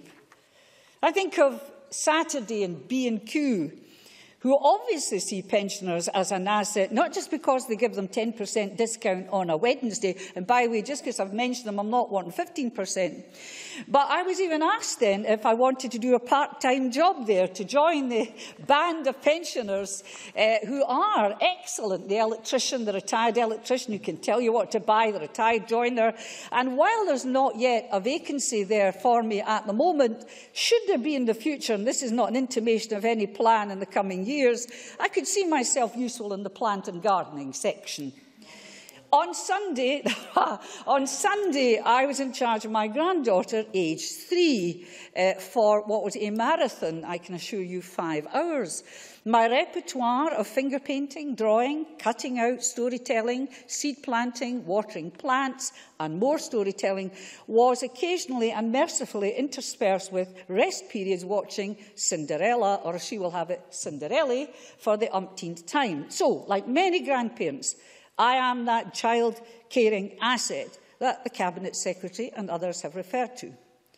But of course, the great concern for pensioners and for elderly is their pension, now and in the future. We had scare stories from Westminster in the event of a yes vote, their pensions, their state pensions, would be at risk. No sooner was that out in the ether than we have, as the Cabinet Secretary said, Steve Webb saying, no, your state pension will continue to be paid because the last time I looked, it's an entitlement, not a benefit, something we have subscribed to. Speaking to my gas engineer, as he assessed my combi, I lead a very exciting life, yesterday, he asked me about his occupational pensions in the light of a yes vote. Of course, occupational pensions are a matter of contract And whether you're living in an independent Scotland or seeking summer climes to get away from those debilitating energy bills, both state and occupational pensions will be paid, sunny Cyprus or less sunny Scotland. It's all one and the same. Your pensions are a contract, they are payable. So let's put that to the side. For the... Yes? Ken McIntosh. Thank you, Presiding Officer. Much as I agree with the general tenor of what Mrs Graham is saying about uh, older people certainly being a, an asset to our society, does she not accept that there is an issue about dependency ratio, which we do have to face up to, that Scotland is going to have a worse dependency ratio than the rest of the UK oh, unless no, we address and, that issue?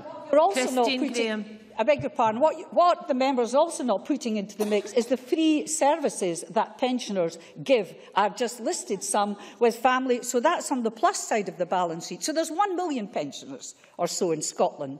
And the White Paper has made it plain they will receive their state pensions as now, on time and in full. And in the event of a yes vote, a full overhaul of pension age, yes, and also the pension and benefits. Because I heard what the member had to say about uh, the pensions and the pension credit. I say I think pension credit's a disgrace.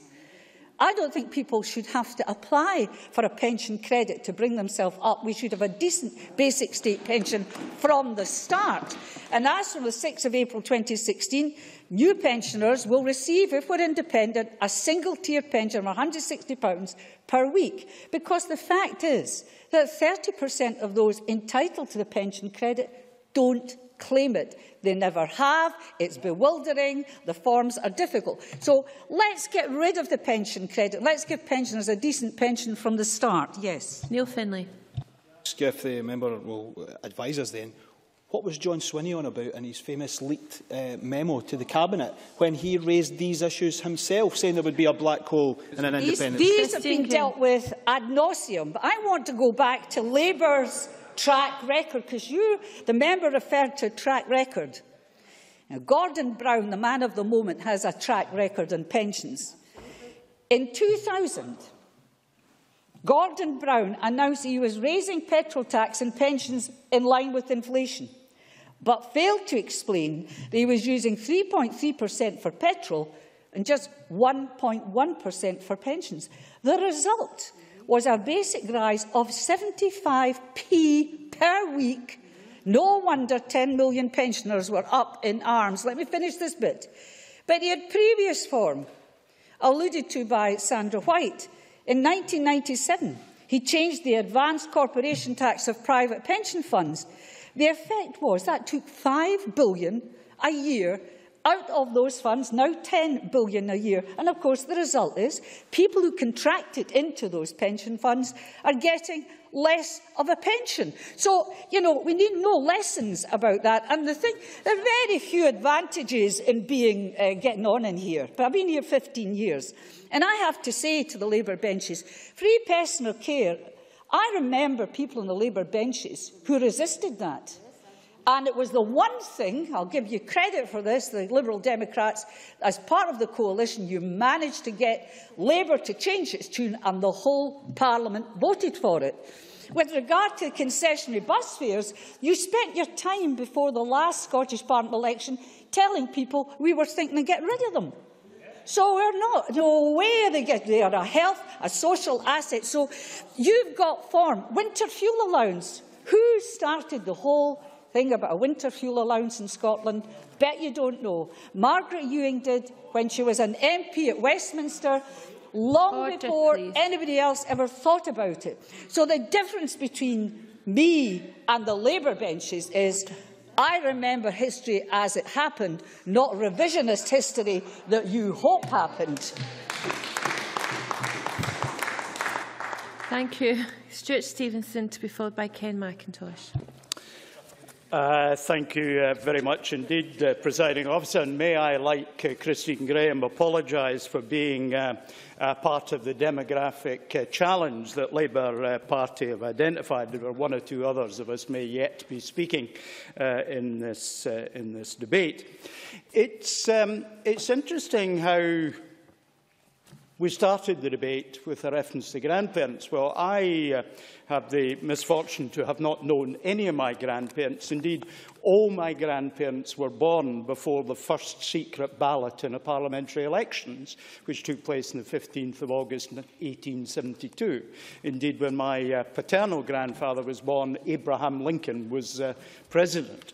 And I think many of my generation have less connection with grandparents than others because we were born immediately after the war, to parents that were a bit older because our dads uh, had been away in the war. Uh, so we probably experienced less uh, grandparental nurturing uh, than uh, many uh, did. But of course, the subject of pensions is one that's been around a long time. It was Lloyd George who introduced them. Um, they were half a crown a week, half a crown a month, I beg his pardon, um, when they were introduced. And this is thought to be such a revolutionary and huge financial bonus that uh, in the book Para Handy's Tales, Para Handy contemplated starting pensioner farms to exploit the amount of money. He could keep a few healthy pensioners in a Scottish island somewhere and he would make huge profits out of it. But of course, pensions have been around for quite a long time. My uh, great-great-grandfather, um, Alex, uh, Andrew Barlow, who was uh, a, a soldier in the Napoleonic Wars, ended up as a Chelsea pensioner because he went deaf. And my great-great-great-grandfather, when he left the Navy in 1782, uh, got a pension. But it's only in modern times, really within the memory uh, of people or people we know almost that the universal pension came along. And that is why the intervention of Gordon Brown uh, to basically take away some of the tax benefits that had been in pension funds uh, was so catastrophic and is part of the reason why people I know uh, have actually got to the position where their private pensions were wiped out and are zero and that was on the Labour Party's watch. But I want to say, the Labour Party do good things. They have done very many good things. Uh, for example, the anti-smoking legislation, which took great courage in this Parliament, I absolutely commend the Labour Party for. The introduction uh, of the bus pass scheme, which benefits old people, but also sustains the bus network in rural areas. Two benefits uh, from each pound that's spent there. The Labour Party were behind the introduction of comprehensive education, which I strongly uh, support. So the Labour Party have done many good things. The Labour Party in West Lothian have done many good things. Although I do remember it was Jimmy McGinley uh, in, I think, 1980 uh, who introduced the Christmas bonus for pensioners uh, rather than the Labour Party. So we've been around, we've had quite a lot of good things from the Labour Party.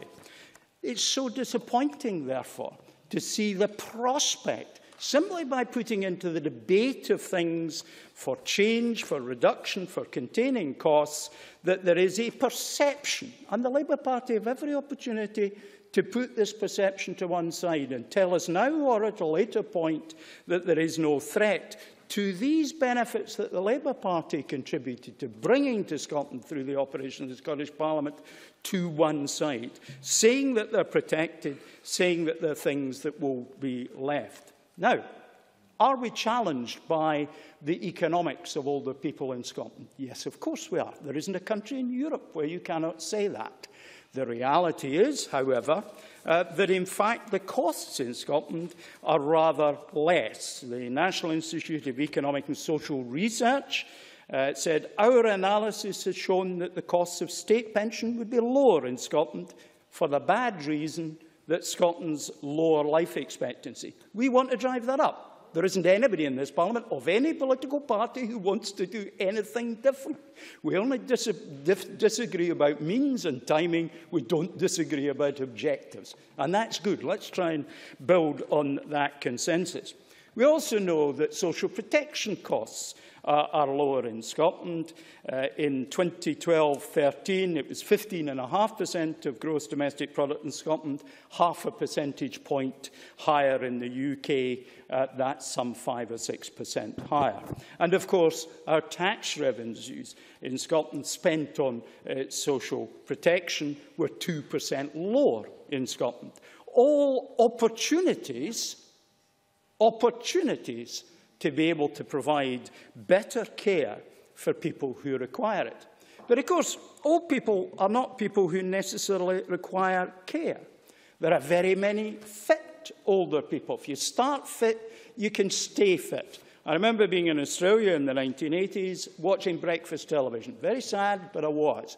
And I saw the guy who just won the Australian over 40s marathon for the 40th consecutive time. he was actually in his 90s, and he was beating people in his 40s. And he was fit and he stood proud and upright. His voice was strong. There was no oh, because he'd never let himself get unfit at any point in his life. And that's the great trick that uh, Christine Grahame and others um, has, uh, has completely uh, got wrong.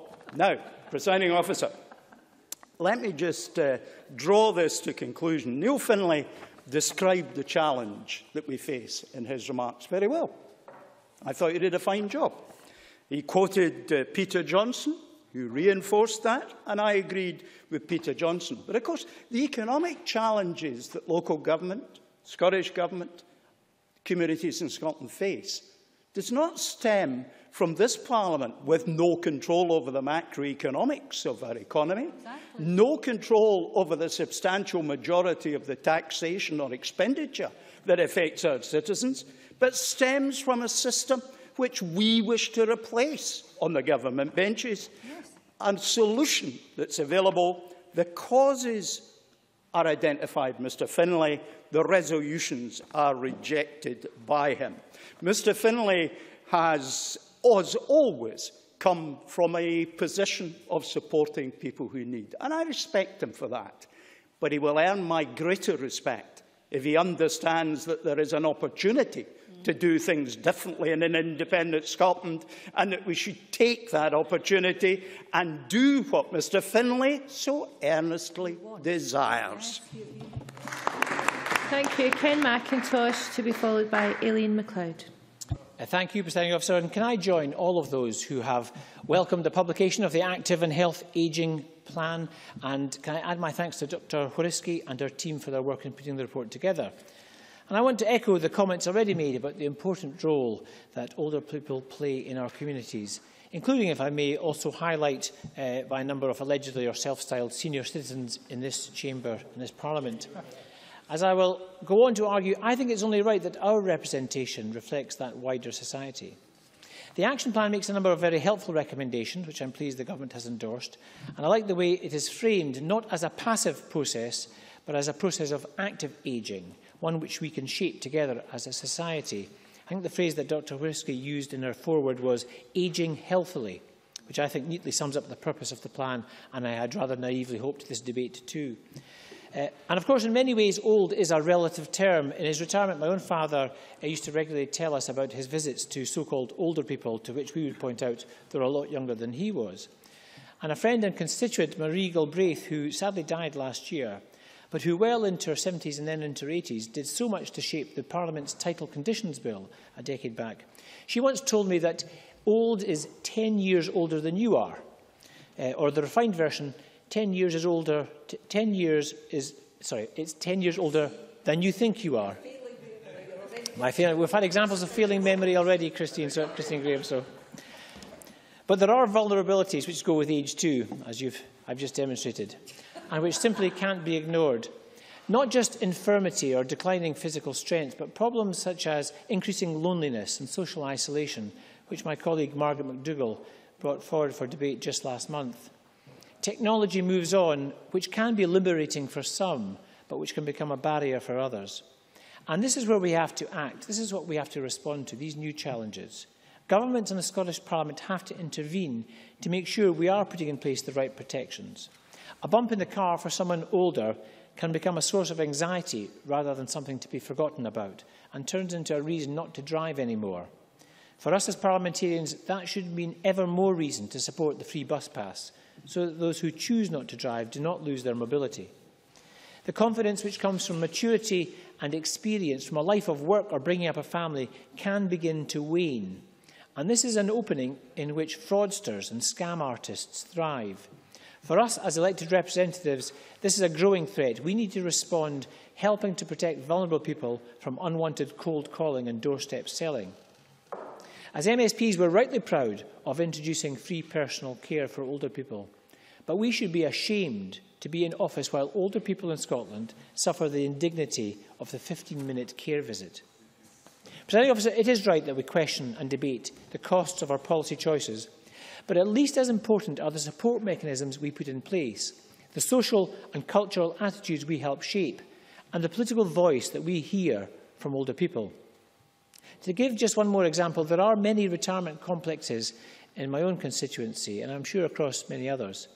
The properties are owned by the residents and they're run by a property manager, but the relationship between owner and manager is often reversed. I don't know how many times I've met residents who feel intimidated or worse, who feel powerless and bullied.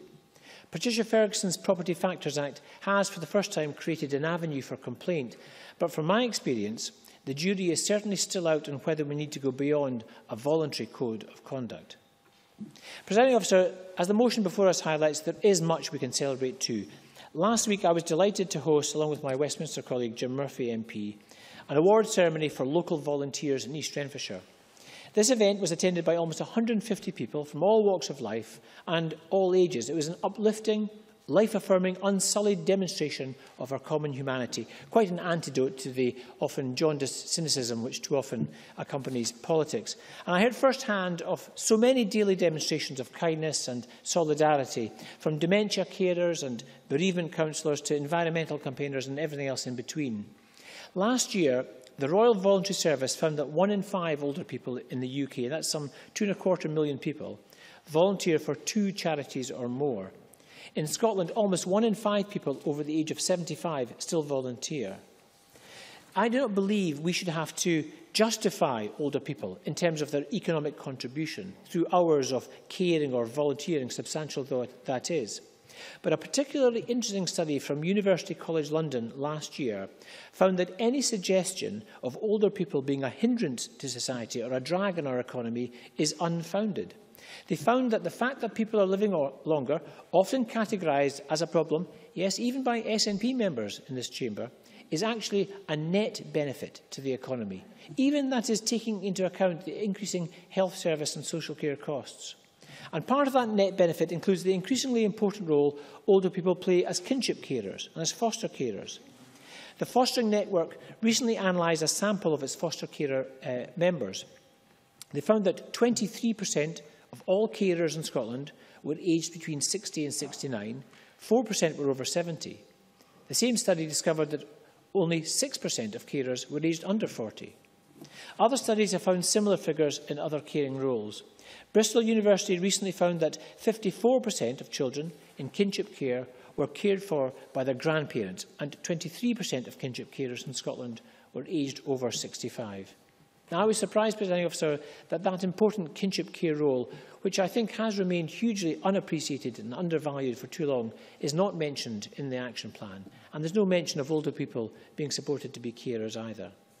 In closing, Presiding Officer, can I welcome the debate today and welcome the opportunity it gives this Parliament to say with one voice that we enormously, enormously appreciate not just the contribution older people have made, but that they continue to make to Scotland. Whether working, caring for others or volunteering in every community, older people are an integral part of holding this country together. And we owe them not just a debt of gratitude, but all the support we can provide to allow each of them and each of us to age healthily. Many thanks. I now call on Aileen McLeod to be followed by Fiona McLeod. Uh, seven minutes or thereby, please. Uh, thank you, Presiding Officer. And uh, like my colleague uh, Ken Macintosh, I want to uh, start by welcoming the new action plan on active and healthy ageing in Scotland, Somewhere to Go and Something to Do, which outlines Scotland's vision for its older people to enjoy full and positive lives, happy and healthy at home or in a homely setting.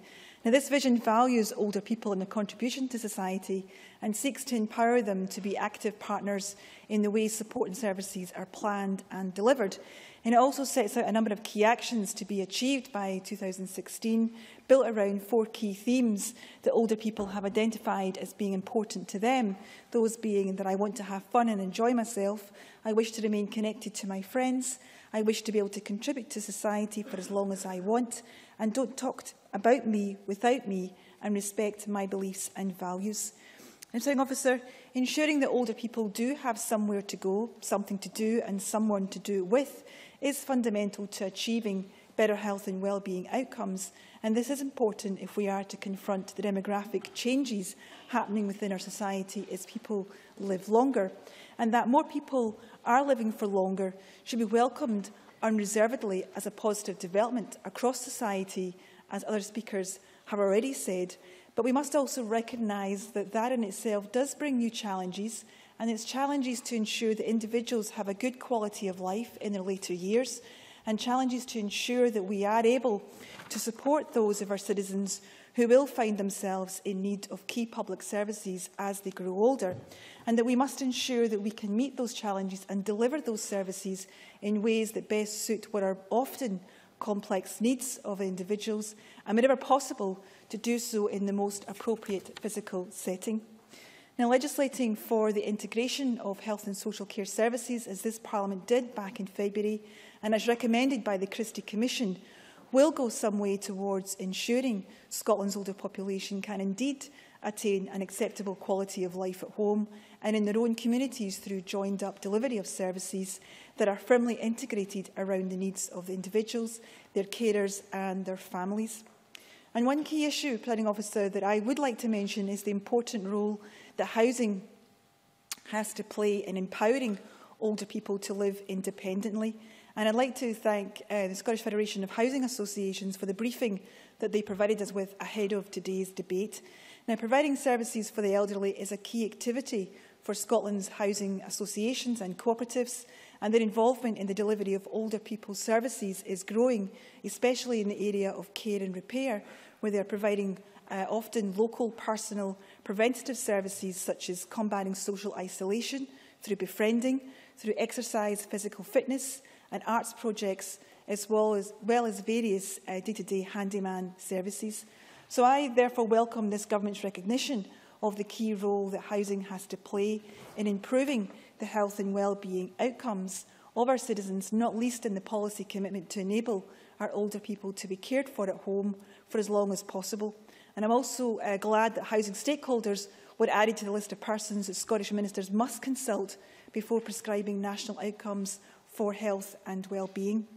Now, Presiding Officer, the region that I represent, uh, Dumfries and Galloway, benefits from a large and active population of older people who are often the driving force behind community activities of all shapes and sizes and who enrich our communities.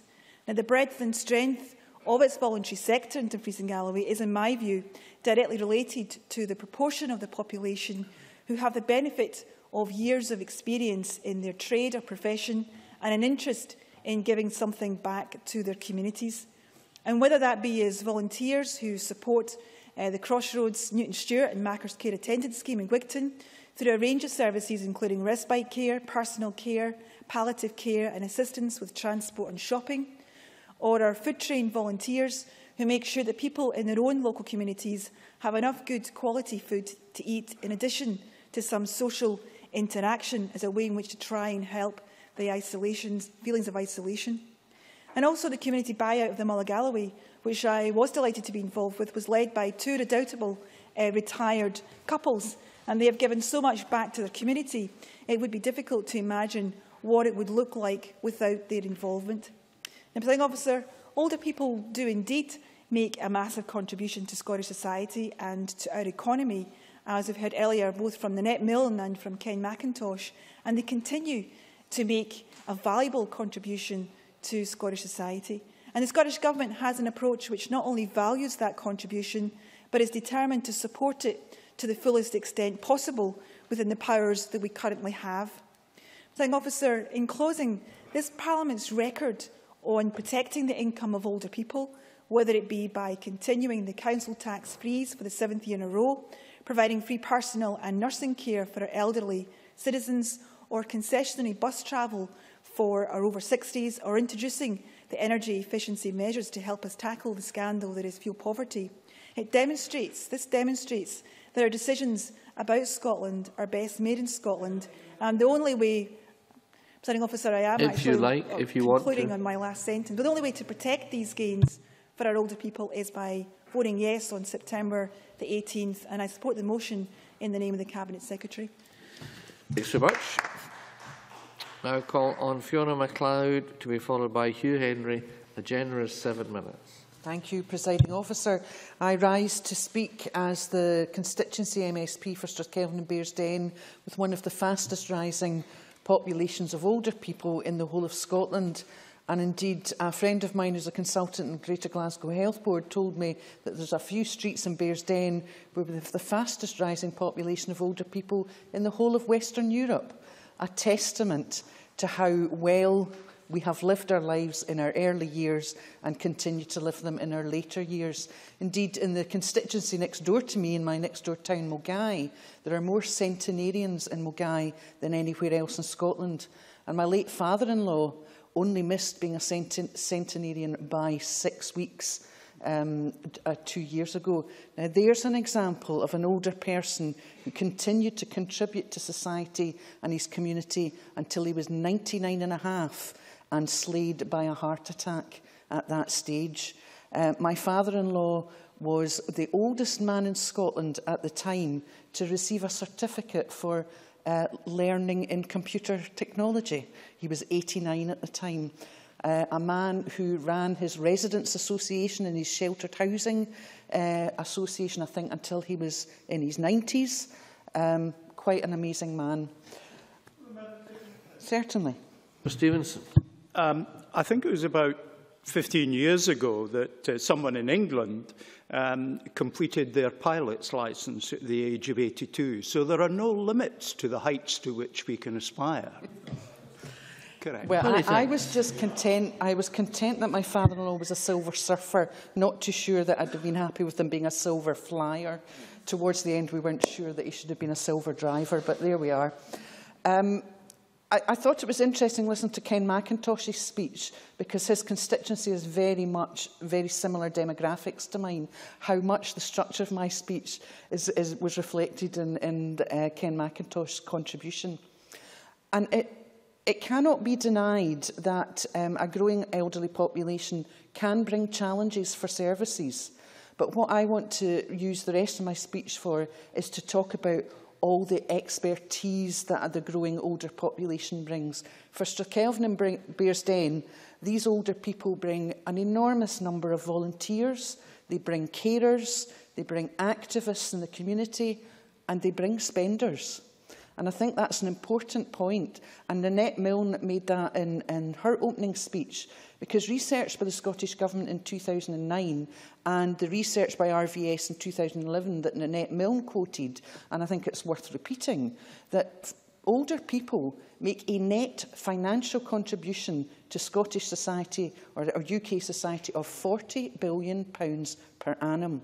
And I think we should remember that whenever we talk about the demographic, demographic challenges, the older people's time bomb. They, they are a, um, an area, a, a group of people who spend a lot. They spend over what they cost society.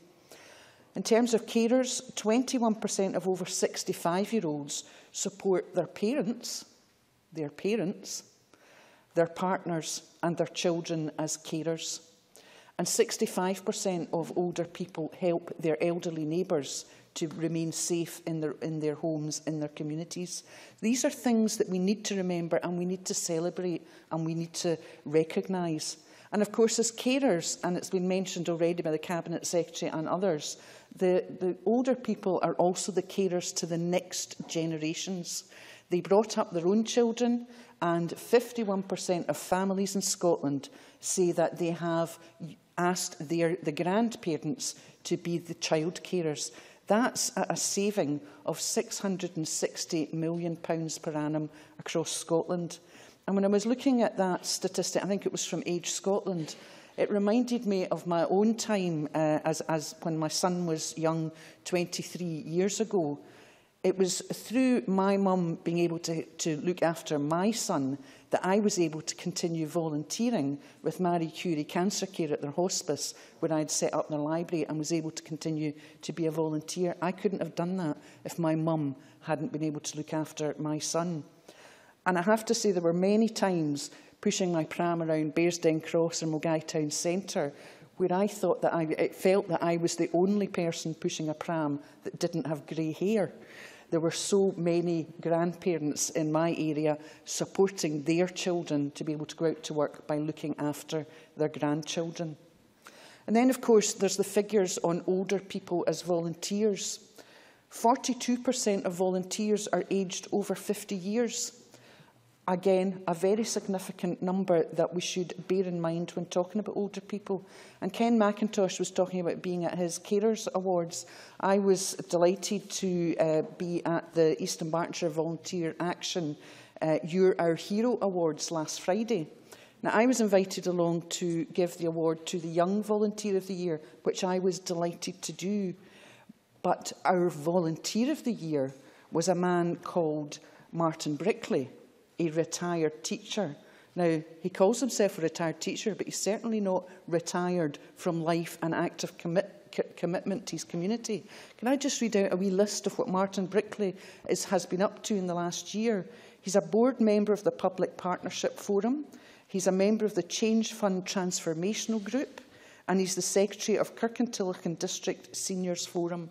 There's a man who hasn't retired from life, even if he's retired from teaching. And Martin won the award, and when he won the award, I, I just thought it was important to quote Martin's own words. The benefits I derive from volunteering are the enjoyment from actively participating in my local community, meeting new people and exposure to new experiences. Older people should volunteer because it makes a massive difference as to how they feel and to what they provide for the wider population. It also means they require less healthcare and general supporting by being active and feeling useful. Wise words from Martin Brickley. But, you know, when I went through the brochure, Pat Brown, who volunteers with Telephone Prevent Befrienders, um, with the knitting group, with Eastern Berkshire Voluntary Action as a volunteer officer, her quote was lovely. It's not just a one-way street, you get your own glow back, says Pat which I thought was a lovely thing to see. Um, best one of all, perhaps, Winnie Findlay, 94 years old. She's part of the um, Wool Be Our Volunteer. She's been knitting a, um, for Samaritan's Purse shoebox appeal for many, many years. Now, Winnie just went into a care home a few months ago, but vowed that she would keep on knitting and keep on doing her volunteering. So my community has an enormous number of older people who are actively volunteering. Just two more to mention. Um, Nan Middleton at Creative Care, who last year won the Queen's Award for Voluntary Services, and the Anand Bhavan Cultural Centre in Kirkintilloch. You might wish to start winding up any minute. Sorry? I wish to start winding up now. I certainly will. So I just wanted to make absolutely clear that in this debate that we recognise all the many achievements and that we celebrate and support all that older people can do. And I have to say, in conclusion, that Scotland's older people deserve better than the carping that we've had from the opposition in this debate. They need to get real. The UK is eroding through welfare cuts, through changes to pension ages, through widening the inequality gap. So it's about fighting now, to make sure that Scotland's older people continue to get the services that they deserve. Thank you. Many thanks. Now calling Hugh Henry to be followed by Bob Doris. A generous seven minutes, Mr Henry. Uh, thank you, President Officer. There is no doubt that this generation that inhabits this Parliament has a debt of gratitude to our older people, and not just to the, the current generation of older people, but to those who went before. Stewart Stevenson, I think, generously acknowledged the contribution made on many issues by the Labour Party. But it wasn't just the Labour Party. Over many generations, it was the organised labour and trade union movement who decided that they were not going to stand for the kind of conditions that pertained in 20th century Britain in the, in, in the early part of that century. And it was through their struggles, through their endeavours, through agitation, and through action, and indeed having fought a war, um, the Second World War, that they decided that they would change the country for the better. They wanted to make sure that their children and grandchildren had the opportunities that they never had. And it's because of those struggles, because of their determination, that I, like many others in this Parliament, was the first in my family to be able to go to university. It was because of their contributions and struggles that I and many others were able to take for granted free health care. And it was through their struggles that, unlike my granny that had to live in a room and kitchen with an outside toilet, that her children and her grandchildren were able to aspire to decent houses. So when we look at that contribution, and Stewart Stevenson mentioned comprehensive education, there are a whole list of historical things that organised the labour and trade union movement delivered for this country. They helped to define Britain in the 20th century and into the 21st century. And because of that, I think that we owe them something. We should thank them, but not just with words. We should thank them with our actions for everything that they did to give us the best possible start in life. Now, Fiona McLeod said that all she's heard from the opposition today was carping, and far from it. Because I think that particularly in the Labour benches and for a period when we were in coalition with the Lib Dems, there were a number of things that we delivered in this Parliament when the money was flowing. We delivered, as others have said, the free personal care. We delivered the free transport. We delivered a whole range of things. And it's right to do that. And the challenge is not to see older people as the challenge, because they, as Nanette Milne and others have said, they are not a burden. They are an asset to our society. But the challenge is for us and our generation to find the means, to find the money, to make sure that they are able to live their retirement with dignity and with pride.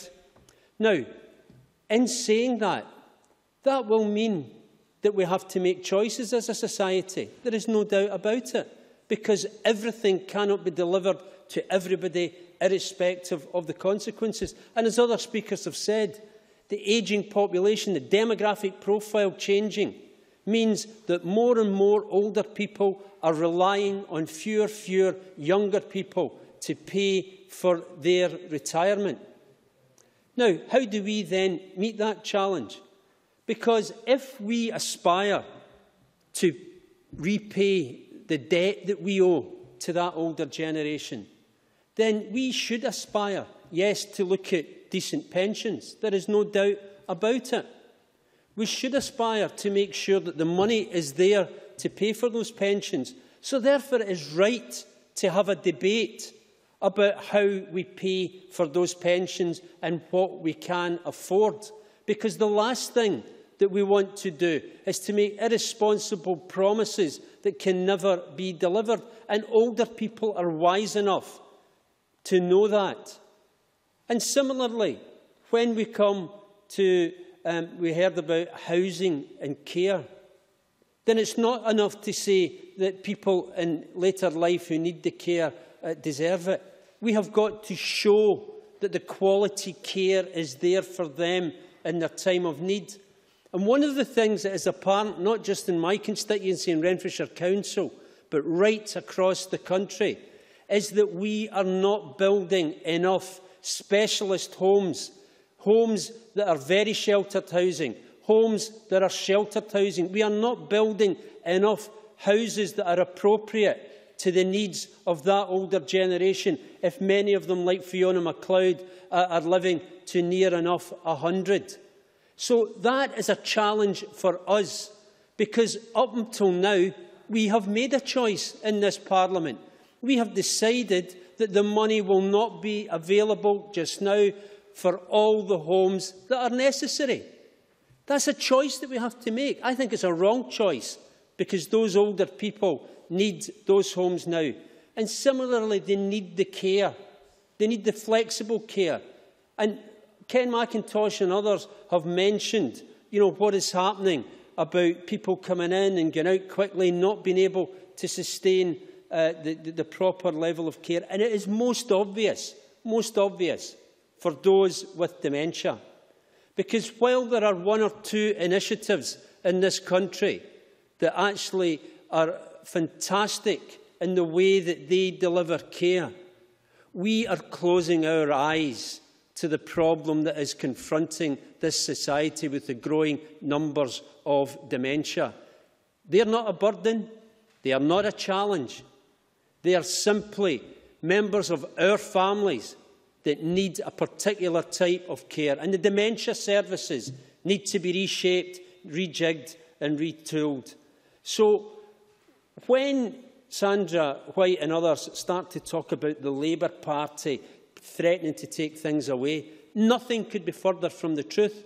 What we are attempting to do is to face up to how we pay for everything that we want to deliver for our older people. Because what they, what they demand and what they Members deserve last is honesty, is sensible policies. And they will not take kindly to glib promises being made for the purposes of a referendum or an election.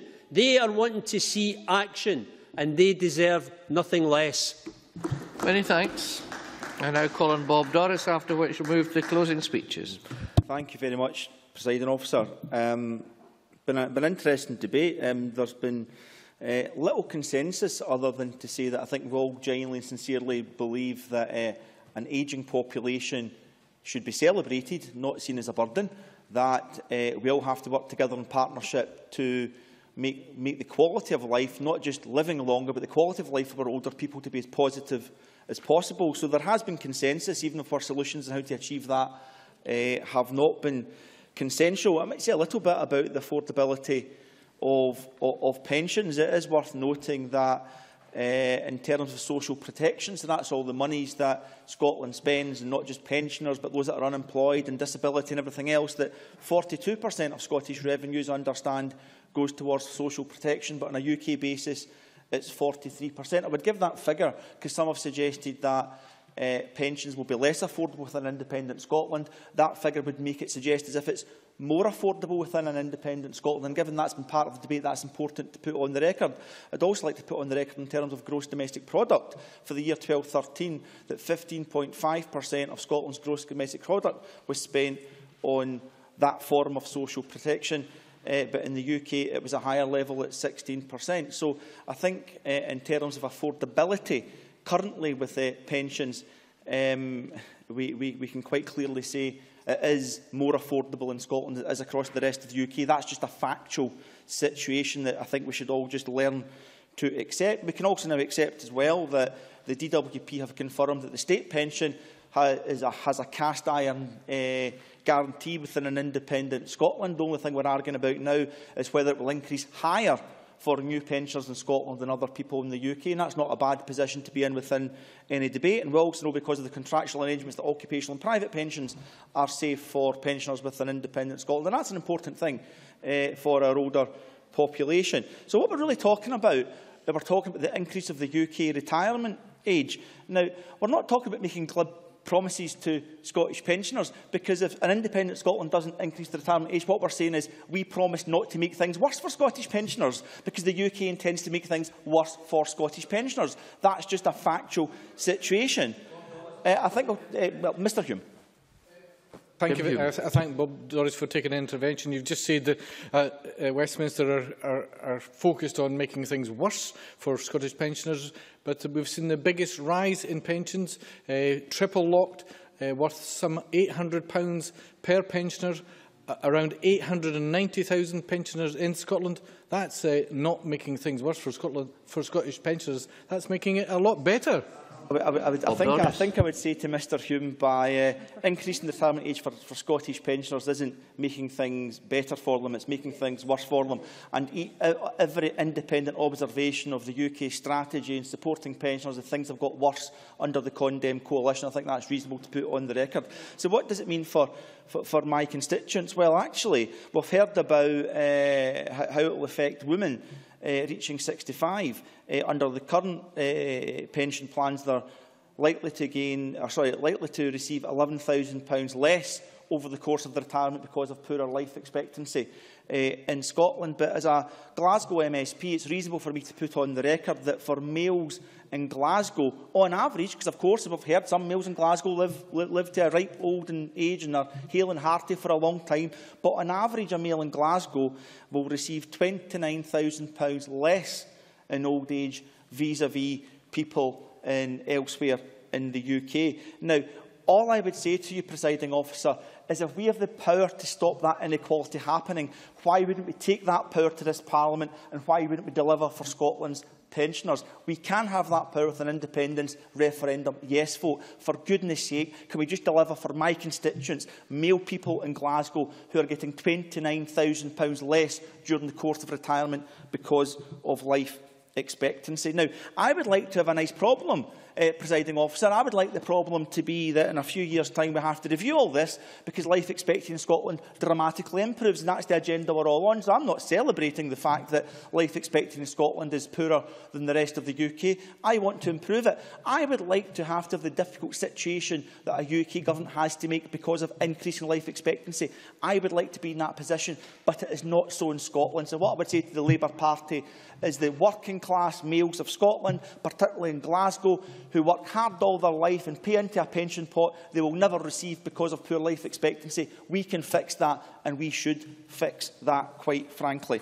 Now, I just want to say a couple of things about uh, uh, the way things are just now. Some, some positive things about the NHS in Scotland, which obviously our older population use more than, than any other group, because I actually think, uh, in relation to Mr Findlay's call for for, for a fundamental root and branch review of the NHS. I think it misses the, the, the trick completely in relation to how the NHS operates. And I actually think the Conservatives, um, I don't often uh, compliment the Conservatives, but I think they're rather well balanced in relation to how you have an NHS under continuous review. Uh, and that is something that happens consistently across Scotland's National Health Service. Yes, absolutely. Neil Findlay. Does he accept the view that I have heard consistently from nurses, from doctors, from patients, from all stakeholders in the NHS, that the NHS in Scotland is under more pressure than it's ever been in its history? Bob Doris. Well, that, that, that's like saying if you put your hand in the fire, your hand will get burned, because the Scottish NHS is doing more operations than ever before. Demand in the Scottish NHS is increasing like uh, like never before, and that is why the Scottish NHS is evolving. Uh, what I would say to Mr Findlay is, okay, let, the time I have left, let's pick one positive thing that Mr Findlay would, would, would not wish to recognise, and that is Scotland's patient safety programme since 2008. We have seen a mortality fall uh, by 12.4% in Scotland's NHS. That's a good thing. That's 8,500 people predominantly older people, Mr Findlay, who are alive today because of Scotland's world-leading patient safety programme. I apologise, President Officer, I seem to have got uh, sidelined into a tangential situation, but if I can just say from my, uh, not for the first time I have to say, uh, but if I can just say from my own personal experience of my friends and my family who are in their late 60s and 70s, and I see what local authorities are trying to do for them, and I see what Scotland's NHS are trying to do with them. By and large, the quality of care in both our NHS and local authorities is exceptional and second to none. Yes, there are problems and they have to be fixed, and I think health and social care integration and the Change Fund for Older People are two major levers to do that.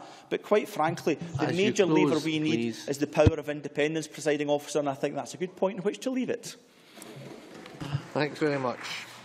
And we now move to closing speeches, and I call on Jim Hume, seven minutes. Thank you, Presiding Officer. Uh, we can hardly say that this has been a consensual debate, but it has been a very welcome debate. We've had Stuart Stevenson enrich the debate with his personal family experiences, a tactic new to uh, Stuart Stevenson, I'm sure. Kristen Green has uh, enriched the debate with uh, visions of her attire in the 60s, and Fiona MacLeod's enriched the debate by uh, going on about carping opposition MSPs in their, in their uh, contributions and then carping on about uh, other governments. The Government and the Parliament's quite right to uh, celebrate the contribution older people bring to our society. It's absolutely correct that they should highlight concessionary bus travel and free personal care, care as ways of recognising the contribution older people have made throughout their lives and into the future. Both these policies, as mentioned, were introduced by the Lib Dem coalition previous to this government, but concessionary fares are being more funded by the bus operators now than by the government. I'm glad that the Nanette Milne also took this opportunity to highlight the disparity that we have in Scotland in our, motion, our amendment in that community buses aren't included in the concessionary fare scheme. It was the subject of one of my own members' debates not so long ago. Many of our rural parts of Scotland don't have the privilege of standard bus routes. Uh, therefore, why can it be fair in those areas our older people have to pay full amounts for their travel? Across this chamber, I think we need to find a solution for this unfairness. Again, Labour have raised their wish for a review of the NHS in Scotland. Now, I recognise that our NHS staff are hard-working and are appreciated for what they do, day in and day out. I don't agree that we need to put improvements on hold whilst there is a full review.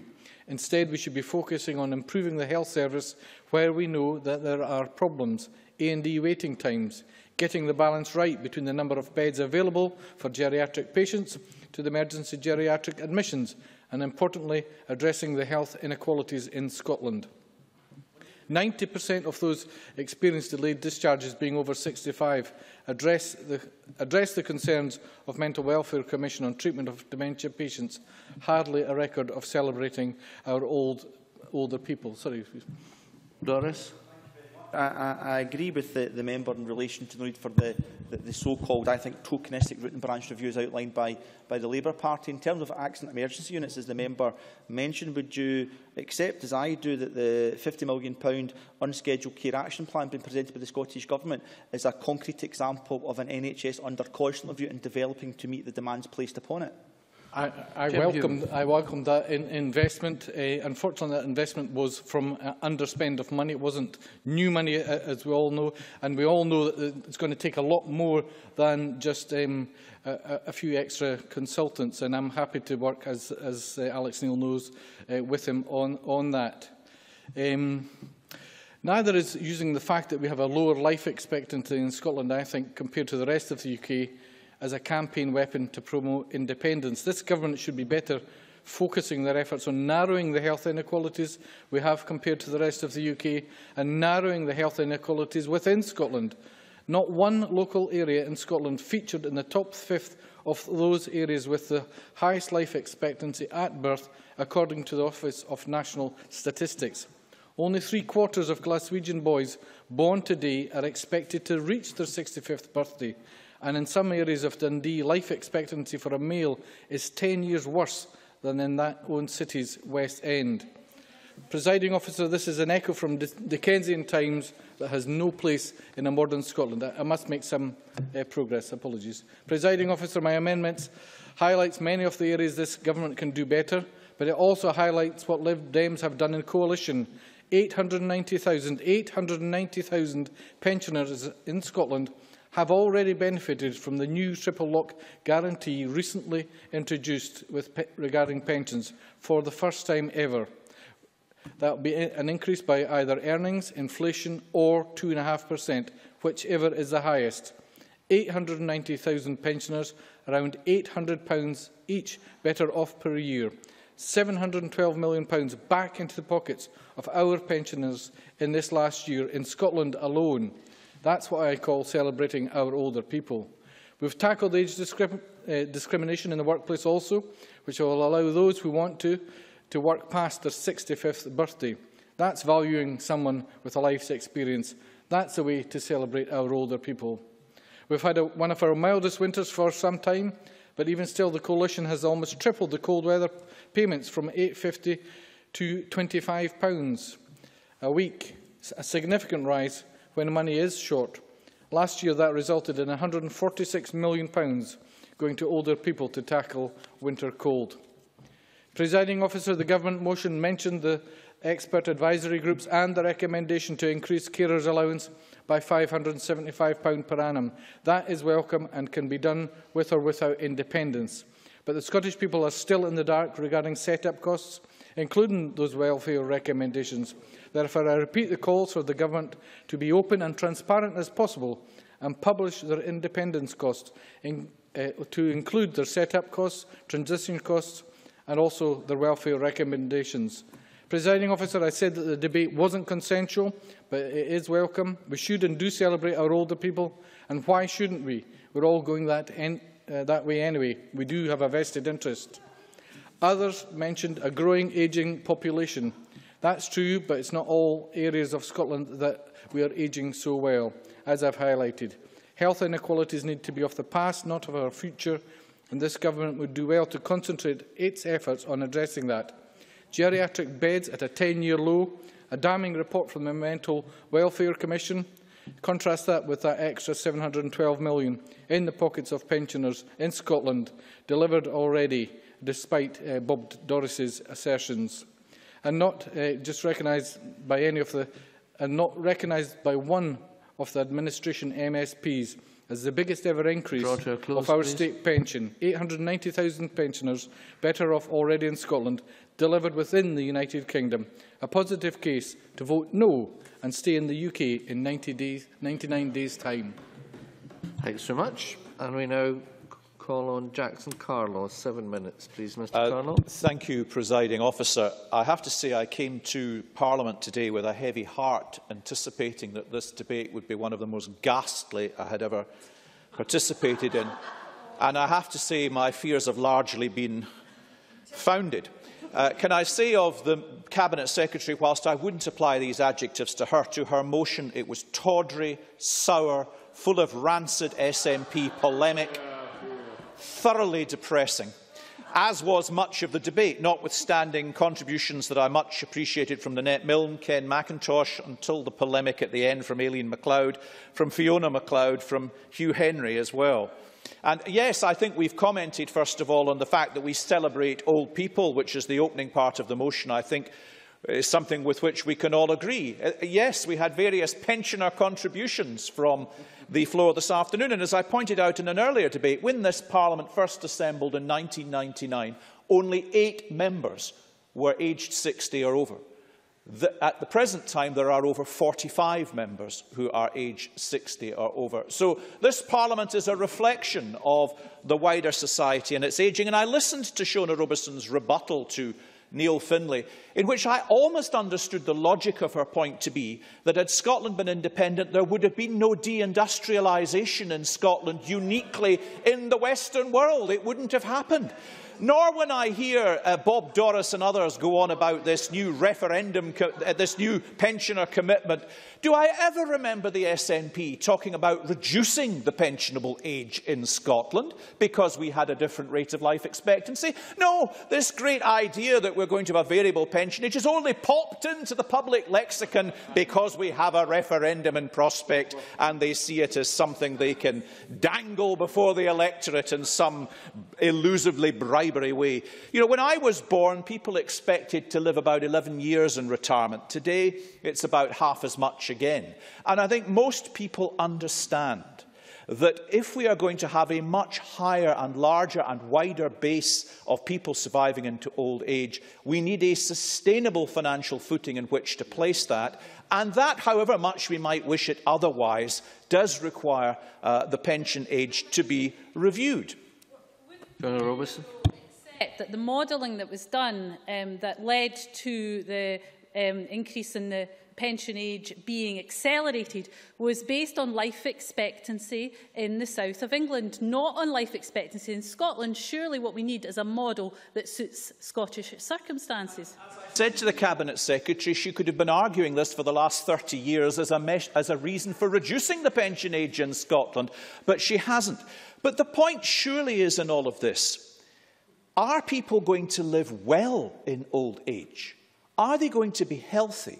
And are they going to be living in housing that is appropriate? And these two points were touched on in the course of the debate. And I just want to touch on them in my own way. First, in relation to living well. That actually means that we have to ensure that the health care that is going to keep people fit and independent into old age is readily available. Now let's talk about atrial fibrillation, something Margaret McCulloch, I think, has asked questions on of the government. It's an arrhythmia present in around 1% of the population. It's characterised by an irregular heartbeat and is associated with symptoms such as palpitations, chest pain, breathlessness and dizziness. The prevalence is strongly associated with age, with over 8% of people aged 65 or over, or 85% of people aged 65 or over, uh, it being apparent. It's been becoming more common.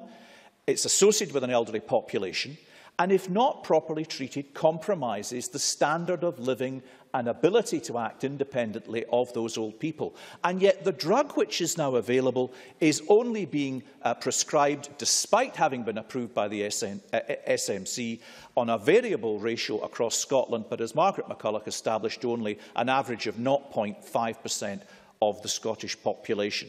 Now, all of this suggests to me that if we are going to have a health service which is appropriate and competent for elderly people going forward. We currently have too many health boards and too many health medical prescribing committees. And I think that one thing we'll have to look at is providing something that is more streamlined and appropriate and rapid and free thinking.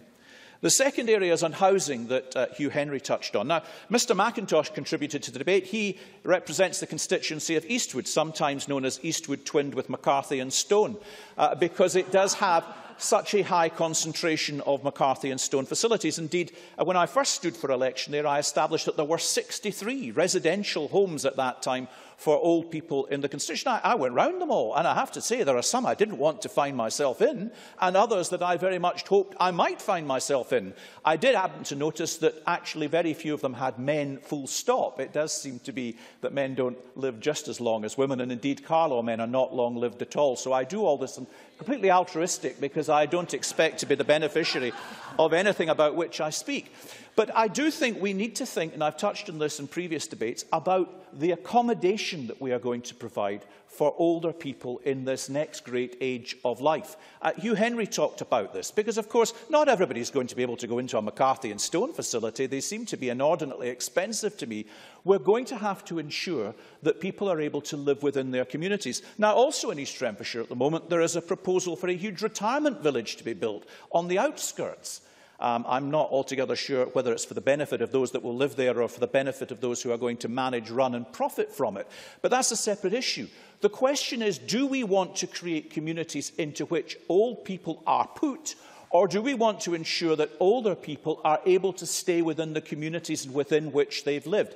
And if we accept that people are going to live longer, if we accept that people want to stay within the community and to have an independent lifestyle, not only do we have to ensure that we have a health service which is capable of allowing them access to staying independent and healthy, we have to start planning now to ensure that the kind of residential accommodation we build in future provides for the sheltered housing Mr Henry talked about, but also appropriate accommodation within a community which an independent, uh, which would allow an elderly person to live in independently. You must close, please. Your time is uh, running Did I out. say something wrong there? Uh, presiding officer, this ended up, unfortunately, and I'm so bored with it, frankly, of being yet another debate that referenced everything to the referendum. You know, after September the 18th, we're going to have all of this still ahead of us, whether we're independent or whether we're not, and we really have to start discussing it with a bit more imagination than we managed this afternoon. Thank you very much. Now, Colin Rhoda Grant, uh, up to eight minutes, please. Uh, thank you, Presiding Officer. Um, can I welcome the Cabinet Secretary to her new role and also welcome Nanette Milne um, back to this chamber um, and also join with others in paying tribute to her husband for caring for her so well while she was off. But I think we should also uh, pay tribute to the number of older people who are taking on caring roles all the time. People that Fiona McLeod talked about, looking after parents, looking after children and looking after grandchildren and contributing the equivalent of around 34 billion to our country. And this is Carers Week, and I think it's really important that we take this opportunity to celebrate their contribution and thank them for it. And this debate should have been about the contribution of older people. And at the weekend, we saw the commemoration of the D-Day landings. And I think that reminds us all of the sacrifice that that generation made uh, for the rest of us. And then Post-war, they faced a period of huge austerity, but what did they do in the face of that? They set up the welfare state, they set up the NHS, selflessly determined to make um, the collective lot better. And Hugh Henry talked about this and said we owed them a debt of gratitude, which indeed we do. The labour and trade union movements also working together to improve people's lot. And indeed we benefit from that today. And this debate should have been about their contribution. Um, but many contributions indeed have not touched on that at all, which has been disappointing in the debate. Labour have delivered and will continue to deliver for older people. Only a few of those um, things that we have achieved have been mentioned in the government motion. Yet all they do is accuse us of a cuts commission, a figment of their imagination, while they now implement cuts here and now. They make unfunded promises to older people while cutting services here and now. It is the elderly and disabled that face the postcode lottery of services, what they receive and what they pay for. They are the new council tax taxpayers. These are the stealth cuts made by this government um, and they're implementing them now. They have no com commission. They are implementing them right here and right now. I'll take an intervention. Robison. If we imagine the something for nothing culture statement that Johann Lamont made when she was elected leader, and uh, is the Cuts Commission not uh, underway? Because that was certainly one of our big piece announcements at the time. Um, Johann Lamont made it herself. I think we should know where that's at, when it's going to report. Rhoda Grant. Um, the Cuts Commission is a figment of the Minister and indeed her party's um, imagination. But they are the only party that seem to believe that you can deliver Nordic-style services for American-style tax rates. We need to take on the challenge about how we pay for those services and not make the, the least well-off in our society pay for them, as they are doing right here and right now. People are waiting on trolleys. People are getting seven-minute care visits. People are not being looked after as they should be, and that should be a, a, a shame on this government.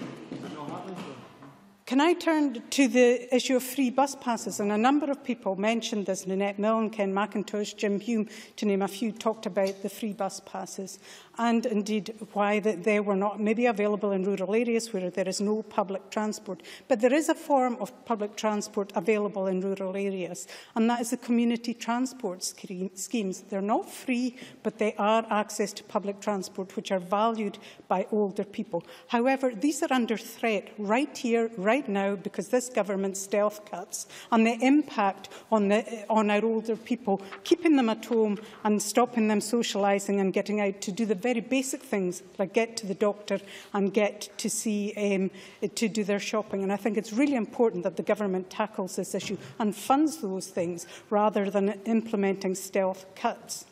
Others talked about um, the health service and A&E, and I think Jim Hume, Neil Findlay um, talked about the disgrace of people um, lying on trolleys for hours on end without knowing when they're going to be seen. Things like bed blocking, where no, people are being boarded out in wards and the like, unacceptable, surely, in this day and age. And that's why we need a Beveridge-style review. NHS workers are telling me that they have never seen the NHS in such a bad state as it is now. The Cabinet Secretary has admitted there are huge problems with the NHS. All he has said is that they don't need a review. He knows what the issues are. Well, let's see him start address these issues because they're happening at the moment. The NHS is not on hold, as people would accuse us of doing, which is not what we intend. It is actually now in decline. And we in the Labour Party appear to be the only party in this Parliament that can see that and actually want to address it. Tinkering at the edges is not enough. We need a Beveridge-style review to deal with this. Presiding officer, this debate should have been about the action plan and not many members uh, mentioned it. Those who did welcomed it and I think uh, we would all agree that it is certainly a welcome document to have.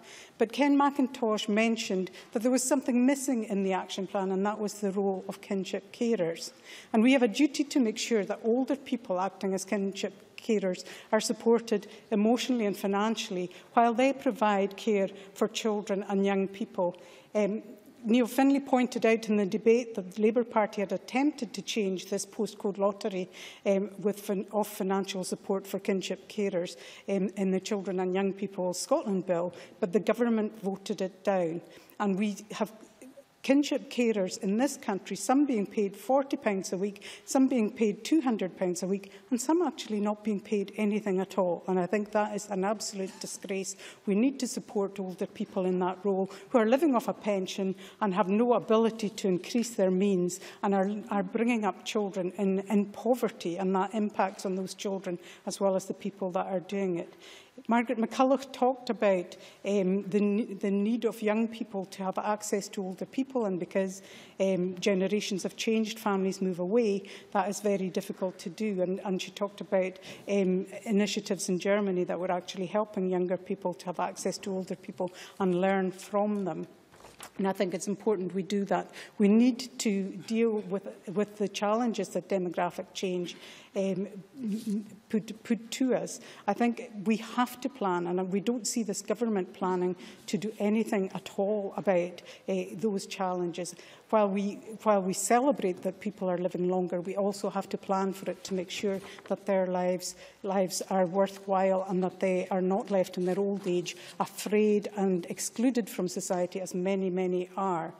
I just want to touch very briefly on uh, pension age and living longer. I find it quite disgraceful that this government seemed to be saying that uh, our early mortality rates are actually a cost-saving exercise and that we should actually be pleased that this is happening instead of apologising for their failure. This is not something to do with independence because in other parts of the UK they have much better mortality rates than we do. Why are we not doing more with the devolved powers we are, rather than bleating from the sidelines and accepting that we have mortality rates that are a disgrace in this day and age? You must close, please. Presiding officer, I, I understand I need to close, um, but I am disappointed that this debate was not more about the contribution made by older people who are living longer and, and enjoying health, many of them into old age, and that's a good thing. Our aspiration should be that all people live longer and and enjoy good um, health. And I think we owe them Finally, that. thank you very much. Now, Colin Shona Robertson, uh, you have until 5 o'clock, Cabinet Secretary. Thanks very much. Um, I wanted to just begin in my closing remarks, apart from thanking everyone for their contribution, just to pay tribute to the Scottish Older People's uh, Assembly, uh, who I meet on a regular basis and, of, of course, who have their, uh, their pensioners meeting in here in October, uh, which is a, a very large um, uh, event and one that's very worthwhile indeed. Uh, can I also say uh, to Sandra White in relation to somewhere to go and something to do, active and healthy ageing, um, an action plan for Scotland. She asked whether there was an opportunity to engage with the cross-party group on older people and to feed into that action plan, and I'm very happy uh, to uh, say yes to that, and um, I'm sure we can arrange that in short order. And uh, if I could just turn to, to some of the points uh, raised during the debate, I'll try and cover as many of them as possible. Uh, Neil Findlay uh, in amongst uh, many things uh, he said. I want to pick up a couple. The social care budgets for older people have actually uh, increased, not decreased, increased by 2.6% between 2013-14 and 14-15, an increase of 34 uh, million pounds. Um, he uh, also mentioned uh, fuel poverty, but of course um, what I should uh, point out, as I did in my, in my opening speech, that we have actually invested uh, more money in tackling fuel poverty. Uh, and of course, that sits uh, by marked contrast uh, to the uh, promises by Ed Miliband to review the winter fuel allowance and uh, has put a question mark on, over its universality. Uh, hopefully that's not something that Neil Finlay uh, would support. And we've heard throughout this debate about, um, yes, a number of challenges that are facing the NHS. Um, indeed, that there are. The Cabinet Secretary for, for Health and Wellbeing has, of course, brought forward a number of plans to deal with some of those challenging situations. But, you know, to constantly hear from the Labour Party that the answer to every challenge in the NHS is a review just strikes me as being the absence of anything else to say about the NHS, um, because we don't want to put the NHS on pause. We want to get on and solve some of the very challenging uh, issues that there are with the health service But I should say at the same time, the health service that actually provides a fantastic service to hundreds uh, and thousands of people uh, every day uh, of every week. Nanette Milne, I should uh, um, join with others in paying tribute to Mr Milne. Um, I hope you're going to share with him um, the, the transcript of this debate. Um, but, uh, and she also talked about the importance of volunteering in her own area, as uh, did many others during the debate. Um, Jim Hume mentioned the Mental Welfare Commission uh, report and of course um, we have accepted the recommendations of, made by the Commission uh, and um, the ones that are for the government and for the NHS. We've accept, accepted them in full. Next month, the Public Health Minister will present a, an integrated action plan in response to the Mental Welfare Commission's report, which outlines how we'll implement their recommendations. Um, Also, he mentioned carers allowance and said that we could get on and, and increase carers allowance now. Well, apart from the fact that it's actually reserved to Westminster and is a Department of Work and Pensions uh, allowance, not one that we have here. But yeah, yes, of course. Neil Finn. Welfare Commission. She says that she's accepted the recommendations. Has she checked with the Cabinet Secretary for Health? Because he might actually reject them once you've accepted them. He's got form. Cabinet Secretary. Anyway, as I was saying, um, Sandra White, moving on to important points made during the debate, unlike that, that last rather silly one.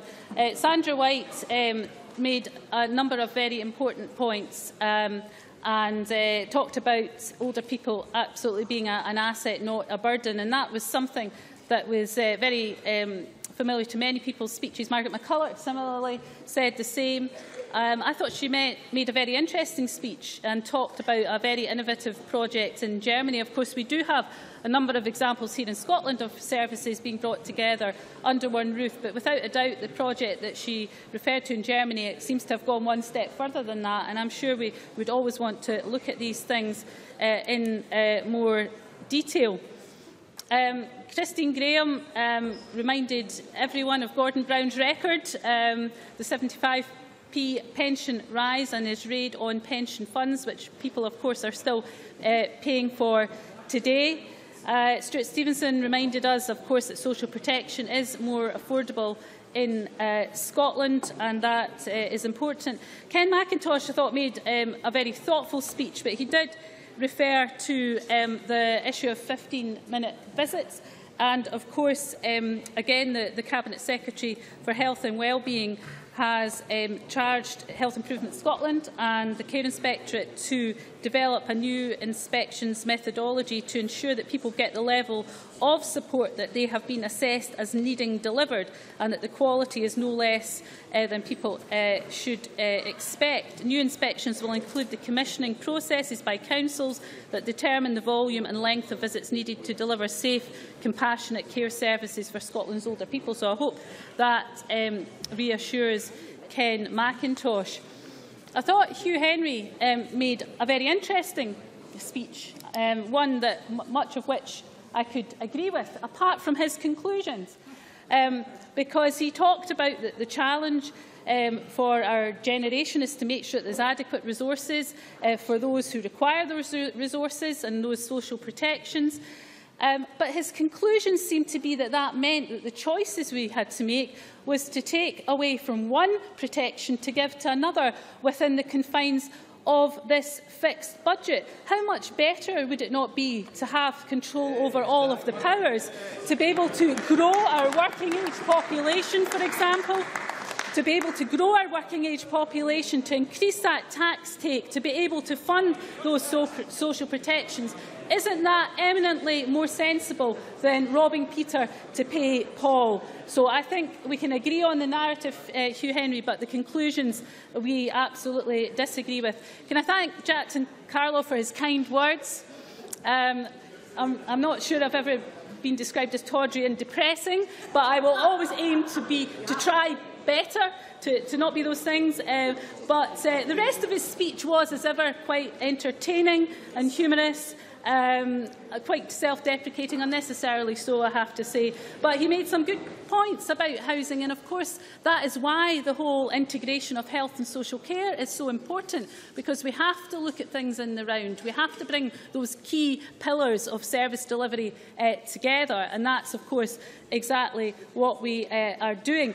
I mean, Rhoda Grant said, you know, why are we not doing things to tackle life expectancy now? Well, of course we are. A number of the social policies and public health policies this government has, be, has brought forward has been intended to do just that. Not least, of course, tackling Scotland's relationship with alcohol, one of the key causes of life expectancy reductions in too many of our communities. But what we have to ask is why then the Labour Party opposes that policy. When we try to bring in policies to improve life expectancy, you oppose them. That's very disappointing, but maybe not unexpected. I'm just concluding maybe not unexpected. So I think it has been, uh, despite it being a robust debate, I think it has overall been an interesting one. So many interesting suggestions and issues to follow up in. I think where we can agree, uh, presiding officer, is that we all want the best for Scotland's older people, but we have very different routes of achieving that. Thank you. Thank you. That concludes the debate on celebrating the contribution of older people to Scottish society. We now move to next item of business, which is decision time. There are four questions to be put as a result of today's business. Can I remind members that in relation to this afternoon's debate, if the amendment in the name of Neil Findlay is agreed, the amendments in the name of Nanette Milne and Jim Hume fall. The first question then is amendment number 10257.3 in the name of Neil Findlay, which seeks to amend motion number 10257 in the name of Shona Robertson on celebrating the contribution of older people be agreed to. Are we all agreed? The Parliament is not agreed. We move to a vote. Members should cast their votes now.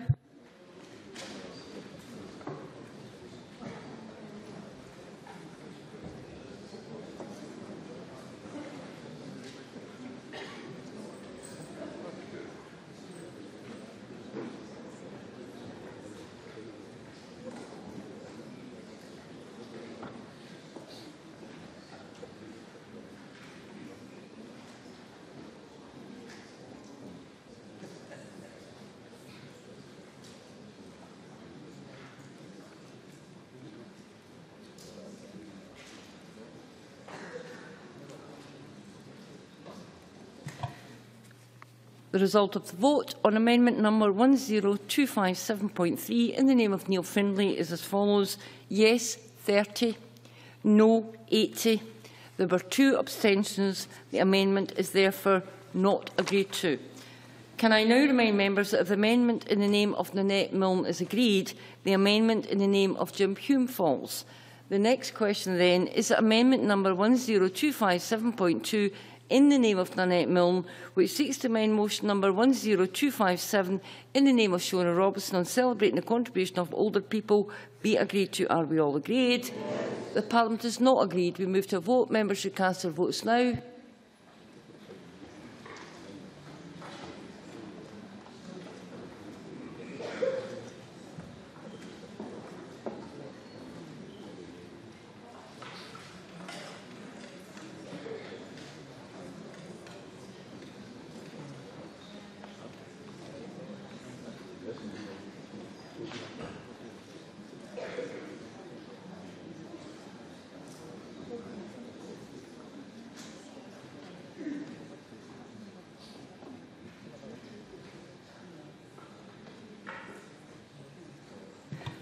The result of the vote on amendment number 10257.2 in the name of Nanette Milne is as follows. Yes, 18.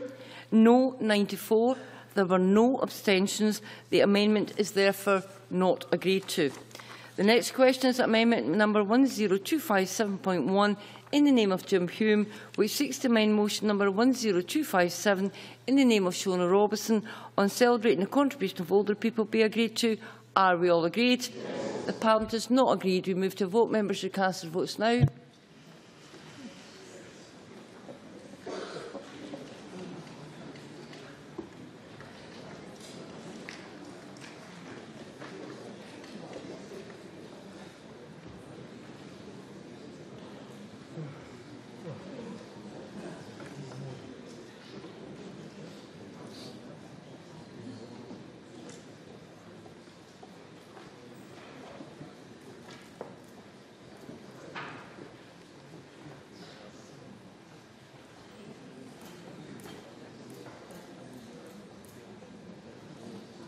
The result of the vote, amendment number 10257.1 in the name of Jim Hume is as follows. Yes, 17. No, 95. There were no abstentions. The amendment is therefore not agreed to. The next question is that motion number 10257 in the name of Shona Robison on celebrating the contribution of older people be agreed to. Are we all agreed? Yes. The Parliament is not agreed. We move to a vote. Members should cast their votes now.